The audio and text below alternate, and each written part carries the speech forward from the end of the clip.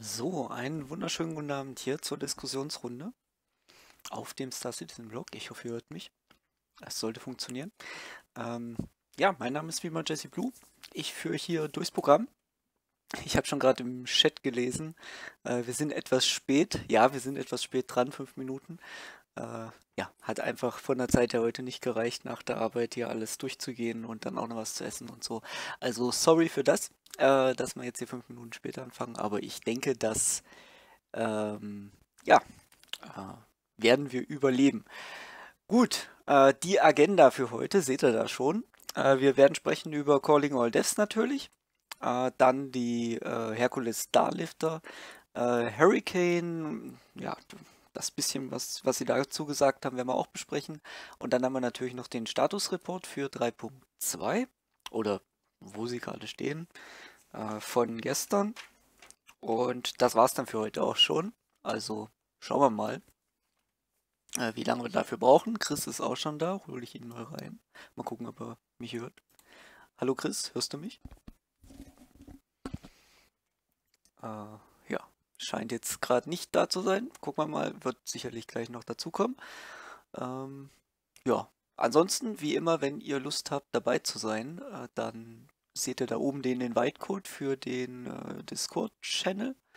Und da könnt ihr dann einfach in, den, in die Lobby reinkommen, also in die Voice-Lobby. Und dann ziehe ich euch hier nach oben in den, in den Raum. So, ähm, ja, gucken wir mal im Chat, was wir noch haben. Silent schreibt die Roadmap vielleicht noch.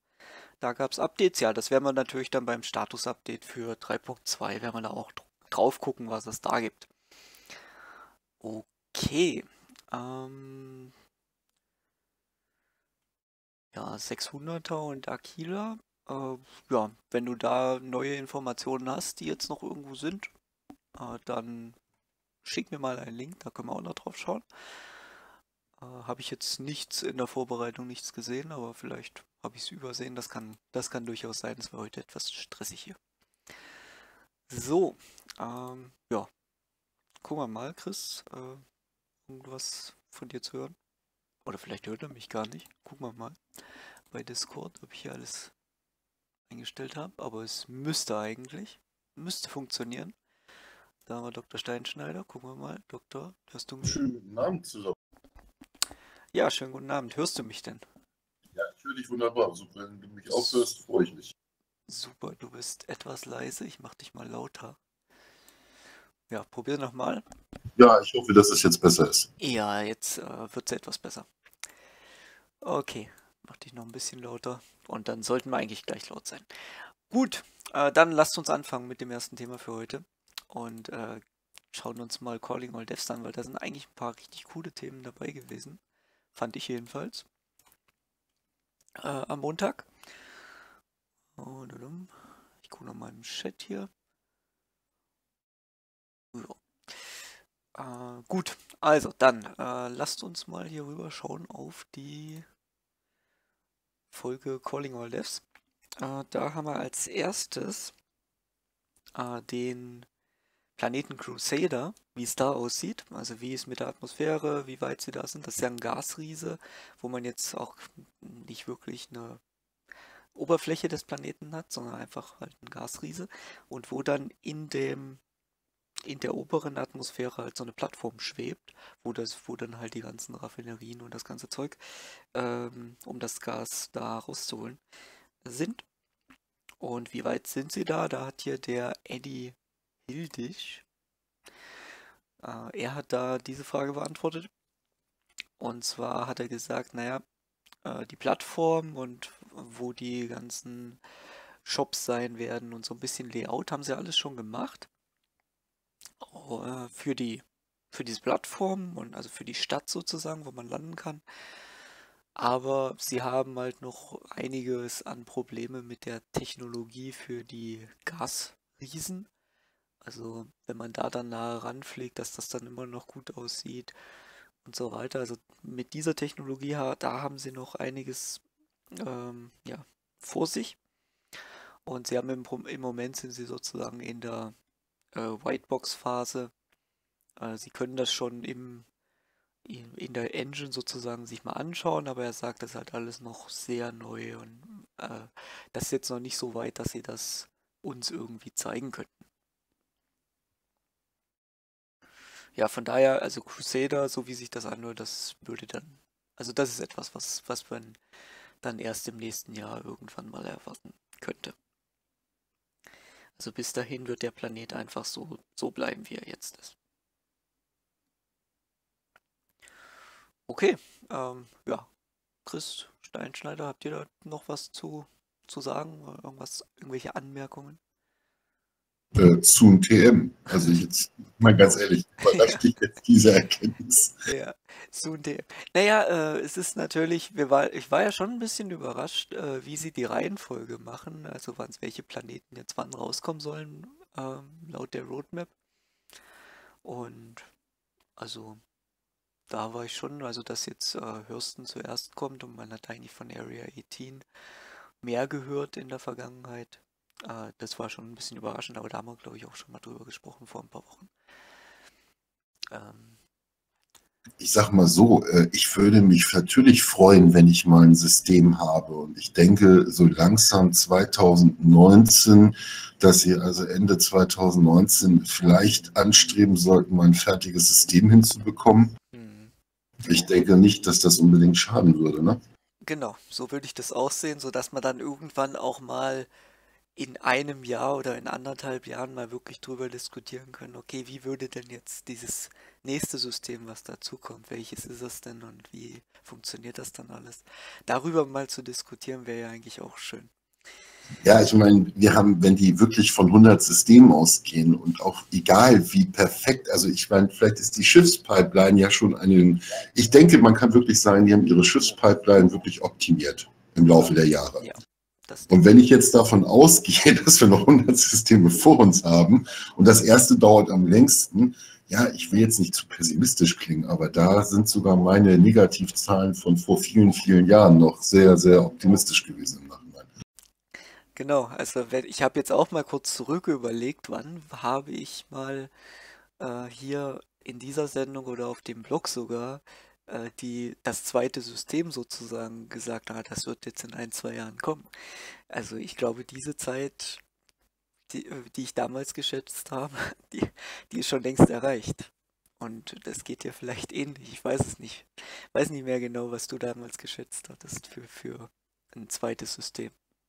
Ja, also ich äh, möchte mich da jetzt nicht zu weit aus dem Fenster lehnen, aber definitiv äh, sind das Zahlen, wo ich weiß, dass ich mir auf meinen 2020 lange umgeritten bin und ähm, dass ich jetzt sogar langsam schon sagen muss, dass äh, von damals gesehen war das nicht schlecht, aber das war damals anscheinend noch zu positiv gesehen und das meine ich mich dunkel zu erinnern, dass das vor drei oder vier Jahren das erste Mal so langsam mir klar wurde, dass es wohl so lange noch dauern wird. Und wenn das jetzt bis auf 2025 hoch zu skalieren ist, gut, dann ist es so, wird sich ändern können, aber es ist schon, hm, ja, danke für den Hinweis im Chat. Äh, ich habe es jetzt auch gesehen, äh, Dr. Steinschneider war etwas, habe ich etwas zu laut gemacht, weil er am Anfang so leise war. Jetzt müssten wir eigentlich ungefähr gleich laut sein. So, äh, ja, sein, das Mikrofon von ihm ist nicht übersteuert. Ich habe ihn bei mir lauter gemacht, weil er am Anfang so extrem leise war. Okay. Ähm, ja, dann frage ich mich gerade, also 400 Zuschauer, das kann ich mir gerade nicht vorstellen. Lasst mich mal gucken. Äh, Doch, ich bin da. ja, genau, ich wollte gerade sagen, Dr. Steinschnell ist da. Und da kommen die ganzen Leute, aber ähm, nee, das cool. ist ein. Das ist ein ich will genauso einsehen, ich sag, das ist. äh, warte. Es ist ja verrückt. Okay. Also, ja, keine Ahnung. Also irgendwas ist hier bei Restream IO kaputt. Das zeigt 450 Zuschauer an, aber wenn ich auf Twitch gucke, sind es 90 und bei YouTube sind es 11. Also da Macht 450. Jetzt erklären, jetzt wissen wir auch, wie die Roadmap sich zusammensetzt. Vielleicht benutzen die dasselbe Tool. Ja, also, hm, keine Ahnung, keine Ahnung, was, was Restream da macht. Genau, also, hm, okay, äh, was soll's, ähm, ist die Anzeige halt ein bisschen kaputt hier. Gut, Ähm, ja, haben wir das erste Thema, denke ich, haben wir genug drüber gesprochen. Lass uns hier weiter zum nächsten gehen. Da geht es um, um den nächsten Planeten im Stanton-System. Und zwar ist das, geht es da um Hürsten. Also das ist ja dann das, sorry, äh, das ist ja das, was als nächstes äh, dann kommen soll. Und zwar ist die Frage hier, wie sieht es aus, weil man da ja diese, diese Meere gesehen hat auf dem Planeten oder Teiche oder wie auch immer. Äh, äh, da ist die Frage, wie sieht es mit Schwimmen aus? Und da hat er gesagt, naja, sie arbeiten jetzt erstmal daran, überhaupt die Animationen für die Charaktere generell zu verbessern. Und Schwimmen wäre dann etwas, was dann als nächstes kommen könnte. Und äh, ja, also dauert noch, ist sozusagen die Aussage. Und äh, der Planet würde erstmal so ohne Schwimmen natürlich rauskommen. Das wäre jetzt nichts, was, was sie unbedingt haben wollen. Äh, was jetzt unbedingt ähm, beim Release damit da sein müsste. Was ja auch irgendwie logisch ist. Ähm, manchmal frage ich mich auch, wer stellt solche Fragen? Also ist das, ist das jetzt wirklich das, das Wichtigste, was man, was man fragen könnte? Naja, okay. Also Fakt ist, äh, Chris Roberts hat darauf bestanden, ich kann mich noch an ein Interview äh, sehr genau erinnern, dass das schon möglich sein soll. Also es gab tatsächlich auch mal wirklich eine Auskunft über, und das ist jetzt keine drei oder vier Jahre her, das ist, äh, meine ich, anderthalb Jahre, wenn maximal ein Jahr her. Nee, anderthalb Jahre maximal, wenn nicht ein Jahr ungefähr, dass das ein Thema war und wo er selbst diese Frage oder wo er selbst diese Frage beantworten musste. Und ähm, ja, warum man die jetzt stellt, sei mal dahingestellt, aber es war schon auf jeden Fall Thema. Ich glaube, das war sogar bei seinem letzten Interview ob das mit dem Schwimmen von ihm gewünscht worden ist. Deswegen nur so als kleiner Hinweis. Ja, genau. Okay, also Schwimmen kommt später und dann war noch die andere Frage, wie sieht es mit Raumschiffen aus, dass die dann unter Wasser auch noch rumdödeln können. Äh, das hat er gesagt, das kommt noch später. Also irgendwann mal. So. Aber da siehst du mal, wir hatten auch schon vor zig Jahren mal die Diskussion und äh, es ist ja anhand, also wie schon gesagt, bei den Größenwahn, den die anstreben, äh, also es ist für mich an solchen Aussagen, auch wenn das auf jeden Fall ist es nicht so, dass er gleich gesagt hat, Blödsinn, haben wir keine Zeit für, wir müssen fertig werden. Also ja, also ich sag mal so, das ist sicherlich auch was, wo man sagen kann, äh, Leute, jetzt machen wir Release und alles, was jetzt nicht da ist, kommt dann später mal irgendwann und aus die Maus. Also das wäre jetzt etwas, wo ich glaube, dass sie einfach sagen können, na, okay. Aber mir fällt, fällt gerade runter. Mir fällt gerade in den Zusammenhang ein, wir haben ja, jetzt hattest du gerade von ARCOG gesprochen, äh, wir haben ja auch noch Mikrotech, ne? Wo ja, steht das eigentlich auf der roten Map? Gar nicht, oder? Ja, soweit ich das sehe, nicht. Also bisher und haben wir noch nichts wirklich von gehört. Nee, also weil nur so über das System soll fertig sein. Also ja. ich denke, 2019 äh, ist da wohl äußerst. Ja, ja, ich bin da, bin da voll bei dir. Ich bin voll bei dir, was dieses Zeitplan Also können wir wirklich vielleicht echt sagen, 2020 hat das Citizen das erste System. Okay, jetzt müssen wir mal ganz fairerweise sagen, als die damals von 100 Systemen gesprochen haben, haben die niemals davon rum, äh, niemals sich die Vorstellung gehabt, und das glaube ich jedem Beteiligten, ähm, dass irgendeiner mal auf dem Planeten durch die Gegend rennen kann und einmal rumrennen kann. Also das muss man sich auch klar machen. Aber es ist trotzdem natürlich wow. Also ich sag mal so, das wird spannend.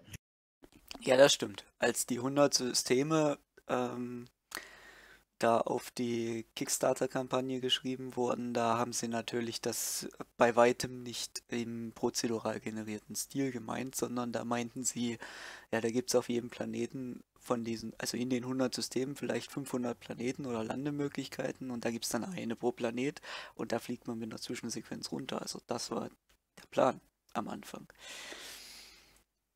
Fairerweise muss man auch dazu sagen, ist das, äh, ich hatte jetzt ein paar Tage mal Zeit, weil ich auch äh, sehr lange, ja, wie, wie, du weißt, sehr selten hier war, äh, mal ein bisschen aus der Citizen zu spielen und mir auch nochmal die Systemkarte anzugucken. Und ähm, es geht auch um die Monde. Und ich glaube, es gibt auch kein System wie Stanton, was so viele Monde hat. Also jetzt mal von der Erde abgesehen von Sol, aber ich glaube, die anderen Fantasiekonstruktionen, die sie haben, äh, da muss man wirklich sich Systeme absuchen, wenn überhaupt ein Planetenmond hat. Also das Denken mit das umfangreichste oder das intensivste oder arbeitsintensivste System sein wird, das ist, glaube ich, gar nicht so von der Hand zu weisen. Hm. Vielleicht haben sie das System auch wirklich genau aus diesem Grund, weil es so viele Landemöglichkeiten hat und so viele, also als sie das prozedural, ne Moment, das, das haben sie, nee, das Stentensystem hatten sie schon vorher gewählt, also schon vor das prozedurale System. Ja, das war ja von der Story. Also man darf nicht vergessen, Squadron 42, also die Grundlagen der Story sind 2010, zwischen 2010 und 2011 entstanden, wenn ich, nicht, wenn ich mich nicht mhm. täusche. Also das, Vielleicht das Vorwärts. Später. Also nee, nee, nicht ganz. Ach so, die Story später, meinst da, du jetzt. Die Story, die also, Story, ja, ja, ja, klar. Also ähm, dieses Lore-Team ja. ist, glaube ich, angestellt bei Chris Roberts Anfang 2011. Ja, ja, Einige für, für, für, die, für die Story, das haben sie mal, das hat Chris Roberts und Dave Haddock haben das mal erzählt, dass sie sich um die Zeit, wo du jetzt gesagt hast, zusammengesetzt haben, um diese Story. Ähm, also dass die beiden haben die Story sich sozusagen zusammen ausgedacht, ja. Genau. Und da stimmt der Zeitraum natürlich. Okay. Also gut, es lässt sich, glaube ich, auch viel entschuldigen. Man muss das wirklich auch ein bisschen aus der Historie mal aufkrempeln. Auf der anderen Seite musste ich gerade lachen, was ich heute gesehen habe. Juhu, es gibt einen Trailer von Good äh, Behind Evil 2, das ja auch schon seit 2009 in der Entwicklung ist. Und immerhin ist Ubisoft der Entwickler beziehungsweise stellt die Kapazität zur Verfügung. Also, die sind in guter Gesellschaft, will ich es mal so ausdrücken. Ja, aber das äh, Beyond Good and Evil 2 ist ja auch so ein recht ambitioniertes Spiel gewesen. Also, wenn ich das jetzt, wenn du da jetzt diesen Trailer vor einem Jahr oder so, wann der war, weiß jetzt nicht mehr genau, äh, das sah ja auch recht ambitioniert aus, so ja, es gab jetzt die erste, es gab jetzt wieder irgendwie einen Live-Schub, weil mich das Spiel einfach unheimlich auch fasziniert und beeindruckt wegen gewissen Parallelen.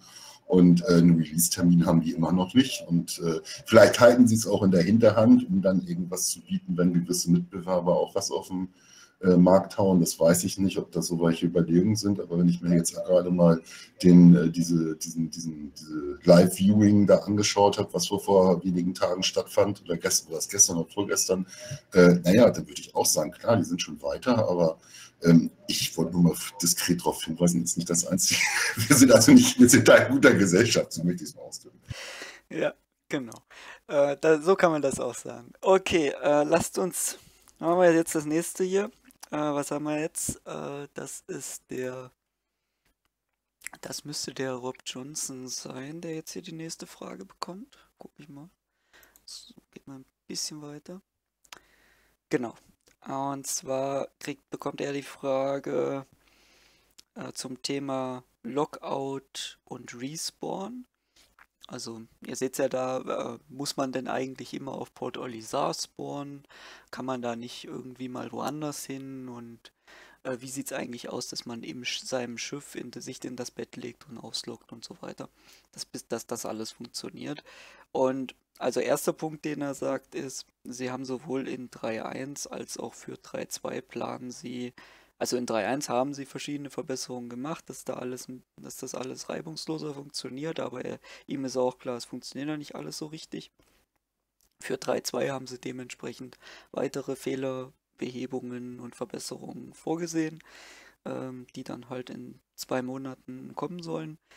Ähm, und dann spricht er noch sehr lange drüber, dass sie, dass man durchaus jetzt schon von Port Olisar wegfliegen kann, zum Beispiel nach Grimhex, dort äh, über den Kommunikationskanal dort eine Landeanfrage stellen kann, wenn man dann richtig landet, also auf diesem, wo man hin soll und so weiter, dann sollte eigentlich das äh, Spawnpunkt nach Grimhex verlegt worden sein. Also das soll jetzt schon möglich sein. Dass, ob das jetzt schon immer funktioniert, da hat er noch, noch leichte Zweifel geäußert, aber äh, prinzipiell wäre das die Idee, wie es funktioniert. Da möchte ich aber mal kurz, wie gesagt, ich hatte ja mal ein bisschen Zeit, äh, Star Citizen intensiver zu spielen. Und ich war ausschließlich die letzten Tage, intensiver meine ich, ich habe bestimmt in den letzten Tagen 40 Stunden investiert. Und ich denke, das ist eine ganze Menge. Und ähm, weil ich einfach mal viel Aufholbedarf hatte. Mhm. Und ich kann nur dazu sagen, mir ist das Spiel sechsmal abgeraucht und sechsmal die Recovery-Funktion funktioniert. Und das zum Teil vier, fünf Stunden später, wo ich gedacht habe, nicht schon wieder, ich habe keine Lust mehr. Habe eine Pause gemacht, dann stand da Recovery, ich habe mich eingeloggt, schwuppdiwupp, ich stand neben meinem Schiff. Ich war beeindruckt. Also ich habe mich nirgendwo hingelegt, aber es hat sechsmal in Folge funktioniert. Ich gebe auch gerne zu, dass es auch dreimal abgestürzt ist, wo es nicht funktioniert hat. Aber das wollte ich auch nochmal zugute halten. Das natürlich mit dem ins Bett legen und auslocken, ich kann mich jetzt nicht erinnern, dass das funktioniert hat. Aber wenn ich irgendwo es geschafft habe, dieses Schiff mal irgendwo heil runterzukriegen, wo es nicht vom Himmel gefallen ist. Da muss ich also sagen, ich war völlig irritiert, dass ich mal irgendwie was hatte wie, hey, gar nicht bei Port Olisar starten. Nein, ich stehe neben meinem Schiff. Irgendwie, jetzt ist was kaputt. Also das war ein richtiges Aha-Erlebnis, äh, weil normalerweise kenne ich das nicht. Ja, genau. Also genau, so hatte, so würde ich das auch sagen. Also es geht da voran, aber es ist noch äh, eine ganze Menge zu tun. Und ja, warten wir jetzt mal ab, was 3.2 uns bietet. Aber ich denke mal, diese Sachen, das ist ja auch vor, äh, die machen jetzt den Schluss, lassen wir den mal auf dem Bildschirm, äh, vor, also beim, als das erste Quartal zu Ende war, hat Chris Roberts ja oder CIG diese Umfrage gemacht, was die Spieler jetzt gerne haben wollen. Und solche Sachen waren da halt auch, also solche Verbesserungen des Spielerlebnisses, so wie es jetzt gerade ist, äh, waren da ja vor allem drauf. Und ich denke, dass sie da äh, auf dem Weg weitergehen werden, um jetzt sozusagen auch das Spiel immer mehr spielbar zu machen, sage ich mal so. Und nicht, also von der Tech-Demo, die es ja bisher größtenteils war, halt wegzuführen. Und das denke ich eine sinnvolle Sache, sollte man auf jeden Fall. Also ich finde das gut, dass sie das jetzt, dass sie das jetzt machen. Also ich, wie schon gesagt, bin äh, habe jetzt also wieder viele Wut, äh, Wutanfälle bekommen, wo ich dachte, ja gut, ich hätte es mir auch in manchen Situationen gewünscht, dass man weiter ist, weil wie gesagt, ich habe jetzt gut zwölf Monate fast Pause gehabt, um das mal sozusagen, äh, wo ich wirklich mal zwei Stunden reingeguckt habe und äh, ich weiß, wenn ich Star Citizen starte dann, und habe eine halbe Stunde Zeit, das ist kein schlauer Plan, um das mal so vorsichtig auszudrücken. Und äh, habe viele Aha-Erlebnisse gehabt, wo ich was gesehen habe, habe mich äh, gerade äh, auch wieder über vieles geärgert, weil viele Bugs, wo ich dachte, hm, jetzt warst du doch schon die ganze Zeit nicht da, ihr seid wieder da, schön, ich grüße euch. Das sind so Kleinigkeiten, aber grundsätzlich muss ich schon sagen, also von der Tech-Demo würde ich vielleicht immer noch reden, weil das ist, äh, naja, vielleicht nicht ganz, das ist vielleicht ein bisschen unfair, aber ähm, ich hatte viele Sachen, wo ich gemerkt habe, genau, das waren die Momente, warum ich wieder wusste, warum ich für dieses Spiel Geld ausgegeben habe. Und das fand ich schön. Genau, und also so würde ich das, das würde ich genauso unterstreichen. Ich glaube, dass sie da in, in, jetzt vor allem, wo sie diesen, also wo auch Chris Roberts wirklich voll hinter diesem quartalsweise, wir schippen das Ganze jeden, alle drei Monate äh, steht, äh, dass sie jetzt auch für sowas Zeit haben und sagen können, okay, wir machen jetzt wirklich mal Verbesserungen von diesen ganzen Sachen, die du sagst. Holen wir mal den Phobos mit dazu. Äh, hallo Phobos. Hört uns noch nicht, also ähm, noch ein bisschen am Einstellen. Phobos, sobald du was sagen kannst, sagst du einfach Hallo. Ähm, Abend. Ah, da ist er. Abend. Abend. Ja, wir sprechen gerade ein bisschen über die ja, Entwicklung. Dr. Steinschneider ist jetzt äh, heute mal hier. Äh, nach langer Zeit wieder. Äh, hat gerade gesagt, ein Jahr hat er jetzt nicht gespielt, hat jetzt mal reingeschaut. Also ich habe schon mal gespielt, ja, ne, um ja, das korrekt auszudrücken, aber ich würde nicht sagen, wirklich intensiv. Ja, genau. Also hat gerade gesagt, ein bisschen äh, so nach einem Jahr. Also Für mich musst du nicht äh, wiederholen. Ja. Ich habe euch die letzten 20 Minuten gehört. Ah, okay, wunderbar. Nee, das wusste ich jetzt nicht. Äh, super. Und hätte auch ein paar Anmerkungen. Ja, dann hau raus. Äh, das eine ist, ihr habt völlig recht mit äh, die Entwicklung nach hinten geschoben und wann das alles rauskommen wird. Aber das Ding ist wie die globale Erwärmung. Wir reden nicht davon, dass in 30 Jahren steigt der Meeresspiegel um ein paar Meter, sondern auf dem Weg dorthin steigt er. Wenn also das erste System fertig ist und wir müssen nicht warten bis 2022, 25, 28, 30 im schlimmsten Fall, bis 100 Systeme fertig sind, sondern wir haben immer wieder mit jedem Tag oder Monat oder jeder Epoche haben wir mehr und mehr Möglichkeiten, in Star Citizen spielen zu können. Also das ist nicht ein System ist fertig und die warten dann mit 99 Systemen, bis die alle fertig sind, geschossen, sondern die kommen ja nach und nach. Von daher alles cool. Und äh, Thema Black and Evil, was ihr vorhin noch hattet, äh, ja, das Spiel ist von den Ambitionen her auch sehr interessant. Aber zum Beispiel als Mass Effect Andromeda geplant wurde, sollte das auch mehrere Planeten umfassen mit Landezonen, die prozedural sind. Und da sollte man hin und her mit einer großen Story-Kampagne. Wen das jetzt nicht mehr an das fertige Spiel erinnert, der, äh, da gibt es so einen bösen, bösen Publisher EA, der hat das Spiel daraus gemacht. Hoffen wir, dass Chris Roberts so bleibt, wie er ist und dass wir hier unser Spiel kriegen, so wie er das möchte.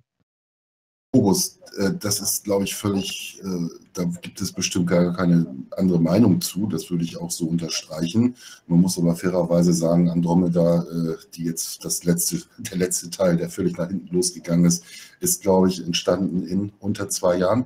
Nur, das hat man dem Spiel auch angemerkt, das will ich überhaupt nicht rechtfertigen. Die Manpower ist eine andere.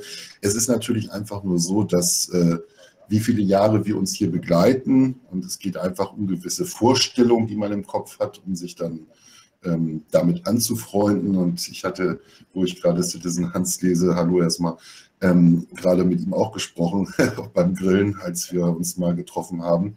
Und äh, sagte auch so, ja, also vor vielen Jahren hatte er 2016 gedacht, wir spielen schon.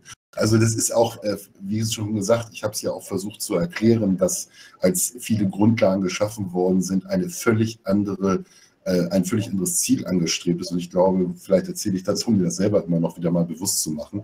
Aber es geht ja nur darum, dass ich trotzdem lügen würde, wenn ich nicht sage, ich würde mich trotzdem freuen, wenn wir vielleicht im Sommer äh, auch wenn ich es nicht für realistisch halte, äh, das erste System hätten, weil so langsam, ähm, ich will jetzt nicht sagen, kommen sie in Zugzwang, aber es muss jetzt mal ein bisschen vorangehen. Ich meine, man kann es nicht ändern, wenn es so ist, aber äh, ich merke selber, dass nicht meine Ungeduld weniger geworden ist. Ich glaube, ich habe da eine sehr lange Geduldsfaden, nur ich merke schon, da ich glaube, ich bin nicht so der Einzige, der das vielleicht so ein bisschen so einschlagen sieht oder wie auch immer. Ne, ich habe das ja. Ja, ähm, Phobos, mach du zuerst. Also ich gebe dir da völlig recht. Ich habe halt nur ein Gedanke davon, der, als gesagt wurde, zur Gamescom 2018 wird es kein Stream von Star Citizen geben oder kein großes Event. Ist mir so ein bisschen das Herz in die Hose gerutscht ich dachte, oh nein, oh nein, oh nein. Dann haben sie aber jetzt gesagt, im September gibt es eine große Präsentation vor 2400 Bäckern, wo der Kartenverkauf angefangen hat. Nehmen wir mal noch an, da kommen ein paar Presseleute und ein bisschen drumherum, also 2500 um den Daumen rum. Egal. Vor diesen Leuten wird eine Präsentation gemacht. Seit Januar diesen Jahres bringen die uns einmal im Monat eine Präsentation zu Squadron 42, wo sie zeigen, wie es vorangeht, und sie können uns mehr und mehr Systeme zeigen, die zahnradmäßig ineinander greifen. 3.3 wird der große Patch dieses Jahr mit, mit Item Container Streaming und das ist vor September. Wenn Sie uns im September, was ich ganz stark hoffe, eine große Präsentation zeigen könnten zu Squadron 42 und das der große Kickoff der Werbekampagne wird für das Spiel, spielen wir vielleicht in einem Jahr Squadron 42 und dann sind alle Diskussionen vorbei.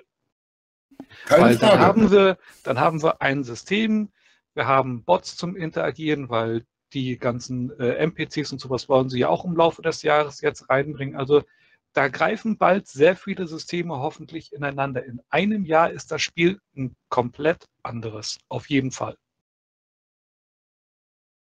Ja, also wie schon da, gesagt. Da hoffen wir drauf. Äh, ich wollte noch eine Sache anmerken. Äh, du hast September gesagt, die Präsentation ist am 10.10., .10., also am 10. Oktober, nämlich dann eben entsprechend, wann Chris Roberts es 2012 angekündigt hat, das Spiel. Also am gleichen Tag. Und äh, der Patch würde dann halt kurz davor rauskommen, der 3.3er Patch. Sorry, Zeitverschiebung. Dr. Steinschneider, du wolltest da noch was zu sagen? Nein, ich bin, äh, wie schon gesagt, ganz, ganz dicht bei Phobos, obwohl ich vielleicht ein paar Dinge ein bisschen anders äh, bewerten würde. Aber ich glaube, im Großen und Ganzen äh, sind wir uns da einig, was die Richtung angeht. Und ähm, alles gut.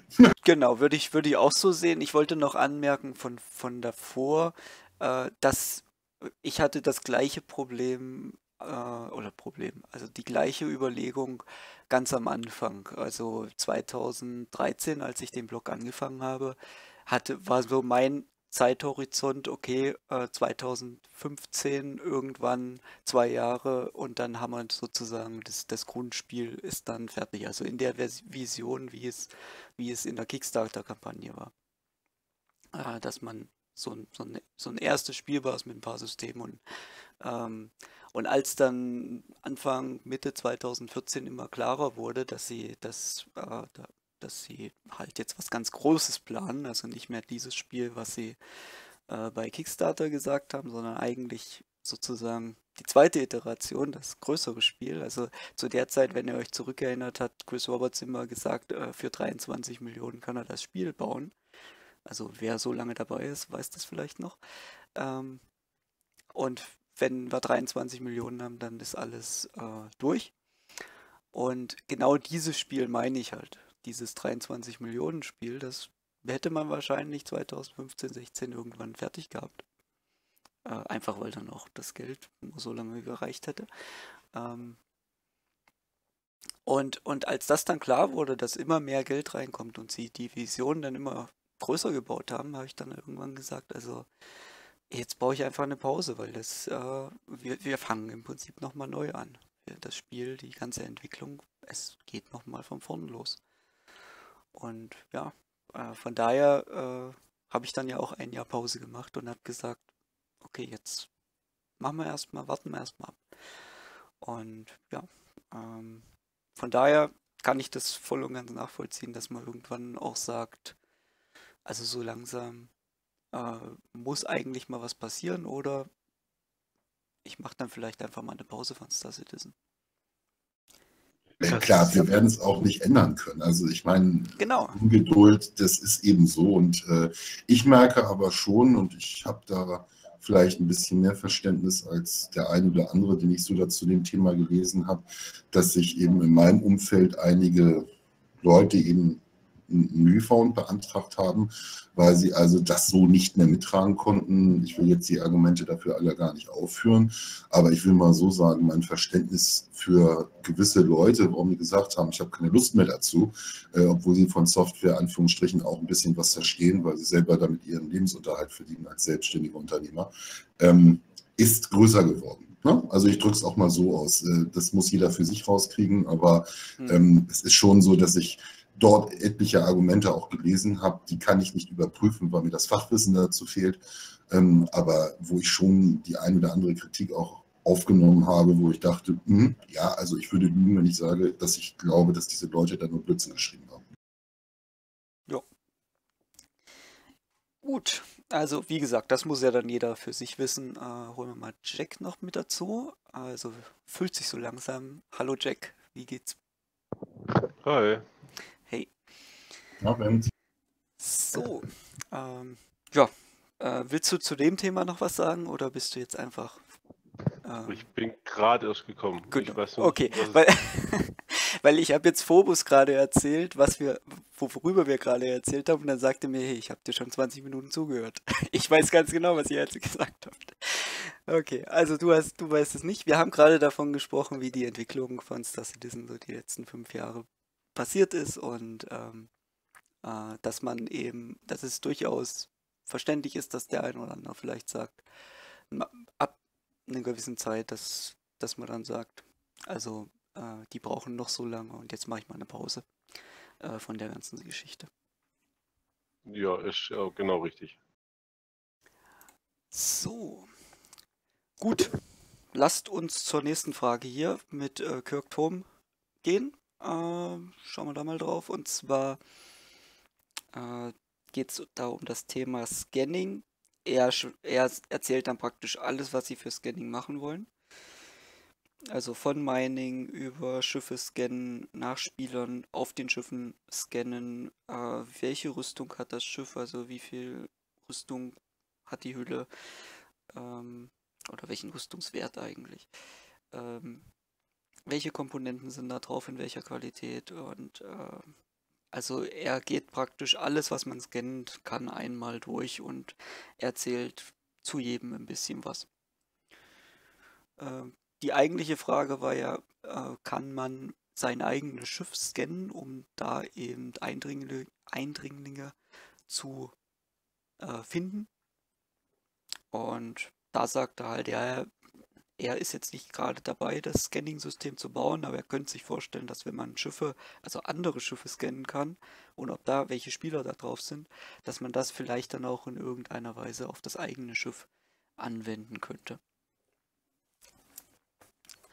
So. Ja, aber das war alles recht straightforward und so, wie man sich das, wie man das erwarten könnte, was, was zum Scanning äh, gesagt werden kann. So, dann kommt der interessanteste Punkt. Also außer ihr habt jetzt noch dazu noch was zu sagen zum Thema Scanning. Also es ist wichtig, dass man das eigene Schiff nach fremden Personen scannen kann. Also wenn ich etwas gerade verflucht habe, wo ich also ausschließlich die Reclaimer geflogen bin, dann waren es die mangelnden Anzeigen. Ich weiß gar nicht, also dieses Schiff irgendwo zu landen ohne die Außenkamera, ich weiß gar nicht, wie das gehen sollte. Jetzt mal von den technischen Problemen, dass das Schiff einfach auf den Boden fällt, äh, wie es ja in den aktuellen Patch Notes auch drin steht, dass das eben momentan ein nicht zu berechendes äh, Flugverhalten hat in äh, ein, 314e-Patch. Aber äh, ich kann nur sagen, ich merke gerade, wie mangelhaft die Anzeigen sind. Immerhin reden wir ja hier auch von einer gewissen Simulation. Und ich vermisse, also es gibt so viele Situationen, wo ich mir wünschen würde, hier hätte ich gerne Anzeige, da hätte ich gerne Anzeige und ich arbeite bei jedem Landung mehr mit der Außenkamera, als dass ich auf die Instrumente schaue, weil sie mir regelrecht nicht verraten, äh, wo ich bin, in welcher Position mein Schiff ist und so mhm. weiter und so fort. Da haben sie, die Frage war vor zwei Wochen, wurde die auch schon mal gestellt, diese konkrete, die du jetzt aufgerufen hast, äh, beim Landen, dass sie da dieses alte System, was es in 2.6 glaube ich schon mal gab, äh, dass man auf den Instrumenten sieht, also so eine Außenansicht sieht von seinem Schiff und dann die Plattform so als 3D-Modell oder also, also als äh, Polygonmodell eigentlich. Äh, und dann, äh, dass man, dass man das dann wieder einschätzen kann. Äh, das soll, sowas in der Richtung soll auch wieder kommen. Muss aber, auch kommen. Also ja klar, man braucht das alles, aber es ist halt auch immer die Frage, äh, wann machst du das? Wann ist die Prio und der Druck so hoch, dass, dass es jetzt gemacht werden muss? Oder das ist die eine Seite und die andere Seite ist, wann passt es technisch in deinen Plan rein? Also wann hast du die, das nötige, ich glaube, Hans hat es gerade im Chat gesagt, das nötige technische Fundament, um dann so, sowas on, on top bauen zu können, dass es dann auch tragfähig ist äh, für zehn Jahre oder mehr. Keine Frage. Ich wollte auch nur anmerken, wenn man sagt, man muss mit diesen Instrumenten Blindflug machen und hätte keine Außenkamera zur Verfügung, dann glaube ich, würde keine Reclaimer Heil auf dem Boden aussetzen. Oh ja, das, das, äh, da hast du absolut recht. So, ähm, letzte Frage und das war sicherlich die interessanteste am Montag. Die hat hier äh, Rob Reininger bekommen. Und zwar geht es darum, so. Und zwar geht es darum, wenn man auf einem Planeten landen will und der, die, das, wo, da, wo man hin möchte, ist auf der anderen Seite des Planeten. Also wir sehen das jetzt hier im Beispiel. Äh, der rote Punkt ist da, wo wir landen wollen. Und im Moment ist es so, dass diese, sieht man meine Maus? Ja, sieht man. Und zwar hier diese kleineren roten Punkte, die um den Planeten verteilt sind. Zu diesen Punkten kann man Quantum Travel machen. Und dann muss man diese grüne, äh, das grüne Stückchen, muss man dann eben außerhalb vom Quantum Travel ganz normal äh, in SCM Speed da oder in diesem schnelleren äh, kann man dann dahin fliegen. Und das ist halt je nachdem, wo, wenn ihr hier schon sieht, die grünen Pfeile sind halt durchaus verschieden und das zieht sich natürlich ewig lang hin, weil es alles nicht so richtig schnell fliegt oder wie auch immer man sagen will. Also es dauert einfach zu lange. Und jetzt haben sie sich da zwei Möglichkeiten ausgedacht, äh, die sie Chris Roberts vorschlagen wollen, äh, wie sozusagen dieses Problem für die Spieler gelöst werden könnte. Also, äh, das müsste jetzt jeden Moment, müsste er das runterscrollen und dann würden wir die erste Möglichkeit sehen. Äh, da haben wir sie. Und zwar hat man weiterhin halt diese roten Punkte wo man Quantum Traveling machen kann, aber dann gibt es halt noch weitere, ähm, weitere diese grünen Punkte hier, sieht man die? Ja, sieht man. Äh, die dann um den Planeten so als Netz drumherum gelegt werden und dort kann man dann eben auch äh, in, in einem schnelleren Modus hinfliegen. Und hier an der Seite diese äh, Kugeln, diese äh, Polygonkugeln, äh, die zeigen dann halt, je näher man an den Planeten rankommt, desto mehr bilden dann diese, diese coolen Punkte eine Kugel. Und über diesen Vorgang könnte man dann halt sehr dicht sozusagen an das Ziel äh, mit Quantum Travel rankommen und dann eben nur ein äh, gleichmäßig oder ja, äh, also immer ungefähr den gleichen Weg dann runter auf den Planeten fliegen. Also man kommt immer äh, durchschnittlich berechnet oder ja, durchschnittlich hat man immer den gleichen Weg äh, über dieses, dieses Verfahren. Ich muss dich leicht berichtigen. Ja. Und zwar, die Kugeln werden runder oder genauer, weil es einfach aus mehreren Punkten besteht. Eben, dass so, wenn du halt einen recht kleinen Mond hast, reichen vielleicht noch sechs Punkte, damit du nur zwei, drei Kilometer fliegen musst. Aber hast du halt einen großen fucking Gasriesen, dann brauchst du halt ein paar mehr Punkte. Ansonsten bist du mit sechs Punkten quasi am Arsch der Welt, wortwörtlich gesehen. Und deshalb werden die Punkte einfach nur, die Kugeln werden runder, weil die Netze selbst kleiner werden, weil man mehr Punkte hat. Also ich habe gerade die Uhr gestoppt. Ich bin von 32 Kilometer senkrecht runtergegangen auf den Boden mit der Reclaimer und der Landevorgang hat circa 20 Minuten gedauert. Und ich meine, da müssen wir nicht drüber reden, ob das diskutabel ist. Also gerade auf die Thematik, Jesse, man hat abends nicht mehr so viel Zeit, wenn man von der Arbeit kommt und man braucht von Port Polisar bis zum irgendeinem Stützpunkt und ist da irgendwie 40 Minuten unterwegs. Und wir reden jetzt noch nicht mal, dass der Quantum Travel das größte Problem ist und da alleine um das Schiff heil runterzukriegen. Und ich habe mit Joystick geflogen und ich bin auch nicht wirklich nach 40 Stunden intensiv äh, SC-Spielen jetzt ganz ungeübt gewesen. Äh, braucht 20 Minuten für den Landevorgang. Vielleicht optimiert man ihn dann vielleicht auf 15. Aber äh, über was reden wir hier? Ja. Also, da kommt es auch drauf an, welches Schiff. Also ich, ich glaube, mit Reclaimer soll jeder ein bisschen gezwungen werden, vielleicht eher im All zu bleiben, als Landemanöver zu machen. Keine Frage, aber 15 Minuten ist zu lange. Ende. Ja, ich glaube, mit Übung geht es schneller. Habe ich, habe ich, ihr wisst, habe ich schon, sage ich schon oft, aber ich glaube, das werden, das werden sie. Also sie haben das Problem ja schon mal erkannt, dass es da ist und jetzt machen sie mal den ersten Versuch und versuchen es in dem jetzigen Konzept zu halten. Aber Dr. Steinschneider, ich gebe dir recht, wahrscheinlich äh, wird es trotzdem noch zu lange dauern und dann wird man sich andere Sachen überlegen müssen. Okay, also das war das erste. Ähm, Phobos, äh, ja, du hast recht, was hier auf dem, auf dem Bildschirm steht, äh, soll es anhand der Planetengröße, äh, dann muss ich nochmal reinhören. Ich habe das vorhin, was er dann auf der Tonspur gesagt hat, äh, hat sich für mich nach dem angehört, was ich gesagt habe. Also, wer weiß, vielleicht hatte er da auch einen Blackout und hat das nicht richtig gesagt. Keine Ahnung. Muss man, muss man nochmal genauer reinhören. Äh, dann.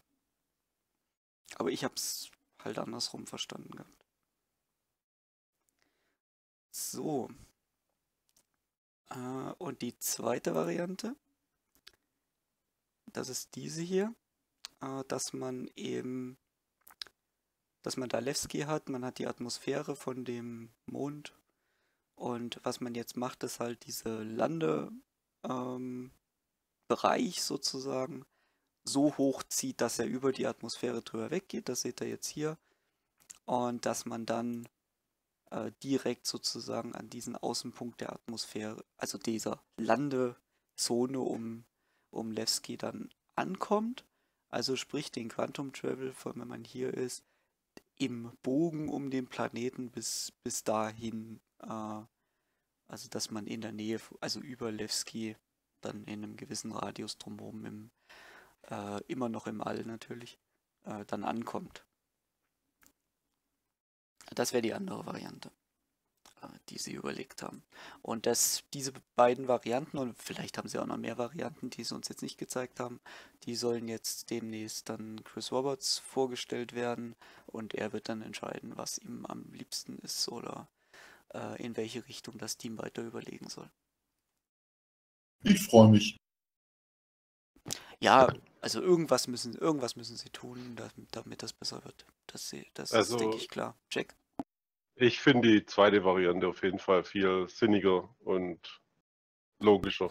Als so ein Gitter drumherum zu machen, ähm, weiß nicht, das ist so undynamisch, würde ich mal sagen. Das, System, das zweite System ist wesentlich dynamisch oder kann man wesentlich dynamischer so Punkte setzen. Das, Das ist ja abhängig vom Lande, äh, Lande ähm, Ding und nicht vom, von irgendwelcher Position in der Atmosphäre. das zweite System hat den sehr großen Vorteil, dass du natürlich direkt um den Planeten herumfliegen kannst. Aber nee, das geht auch- nicht. Das geht nicht. Ja, was ich meine ist, dass es hat für mich einen gewichtigen lore-mäßigen Nachteil. Wir fliegen mit 10% Lichtgeschwindigkeit und wir lenken dabei. Nee, das geht jetzt- nicht. Das habe ich auch falsch verstanden. Das habe ich falsch verstanden. Äh, Das habe ich genauso falsch verstanden. Äh, äh, Du, da steht nämlich auf der Zeichnung, du musst schon dann gerade hinfliegen. Das ist, ähm, aber der Punkt, wo du da rankommst, ist halt äh, in der Bubble äh, von, dem, von der Landezone.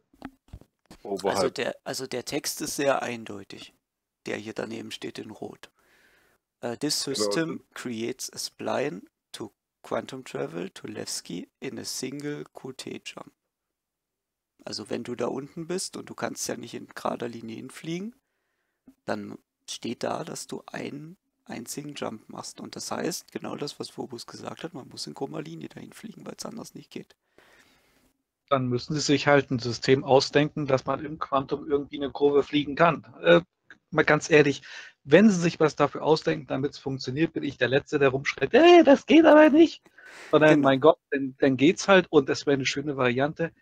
Das Einzige ist noch aktuell, es ist halt so, ich ärgere mich auch, wenn ich einen längeren Anflugweg habe auf dem Planeten runter, aber wenn ich halt direkt vor der Station ankommen könnte bei Leslie und innerhalb von 30, 40, 50 Sekunden in der Station drin bin, habe ich halt diesen Moment nicht mehr, dass ich denke, ich habe was geschafft, dorthin zu kommen.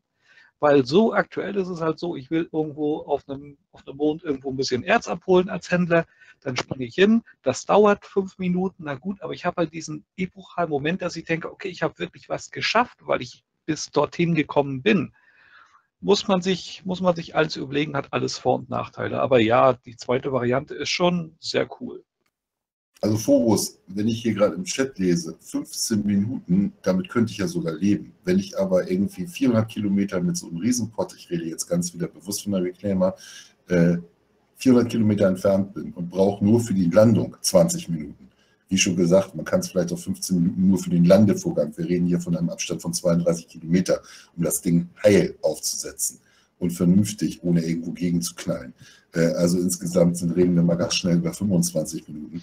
Dann muss ich dir sagen, ist mir das zu viel. Über 5 Ja bis gut, 10 äh, Minuten 400 brauche ich. Kilometer, du, du musst rechnen, wenn du über dem Target bist und 400 Kilometer, das, die hast du ja auch mit anderen äh, Raumschiffen, die ähm, besser, schneller landen können.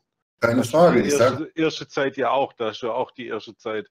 Das ist ja das System, was hier, dass du schneller an den, sag mal jetzt 40 Kilometer bis zur Atmosphäre bist. ähm, Also wie schon überhalb gesagt, vom Ziel.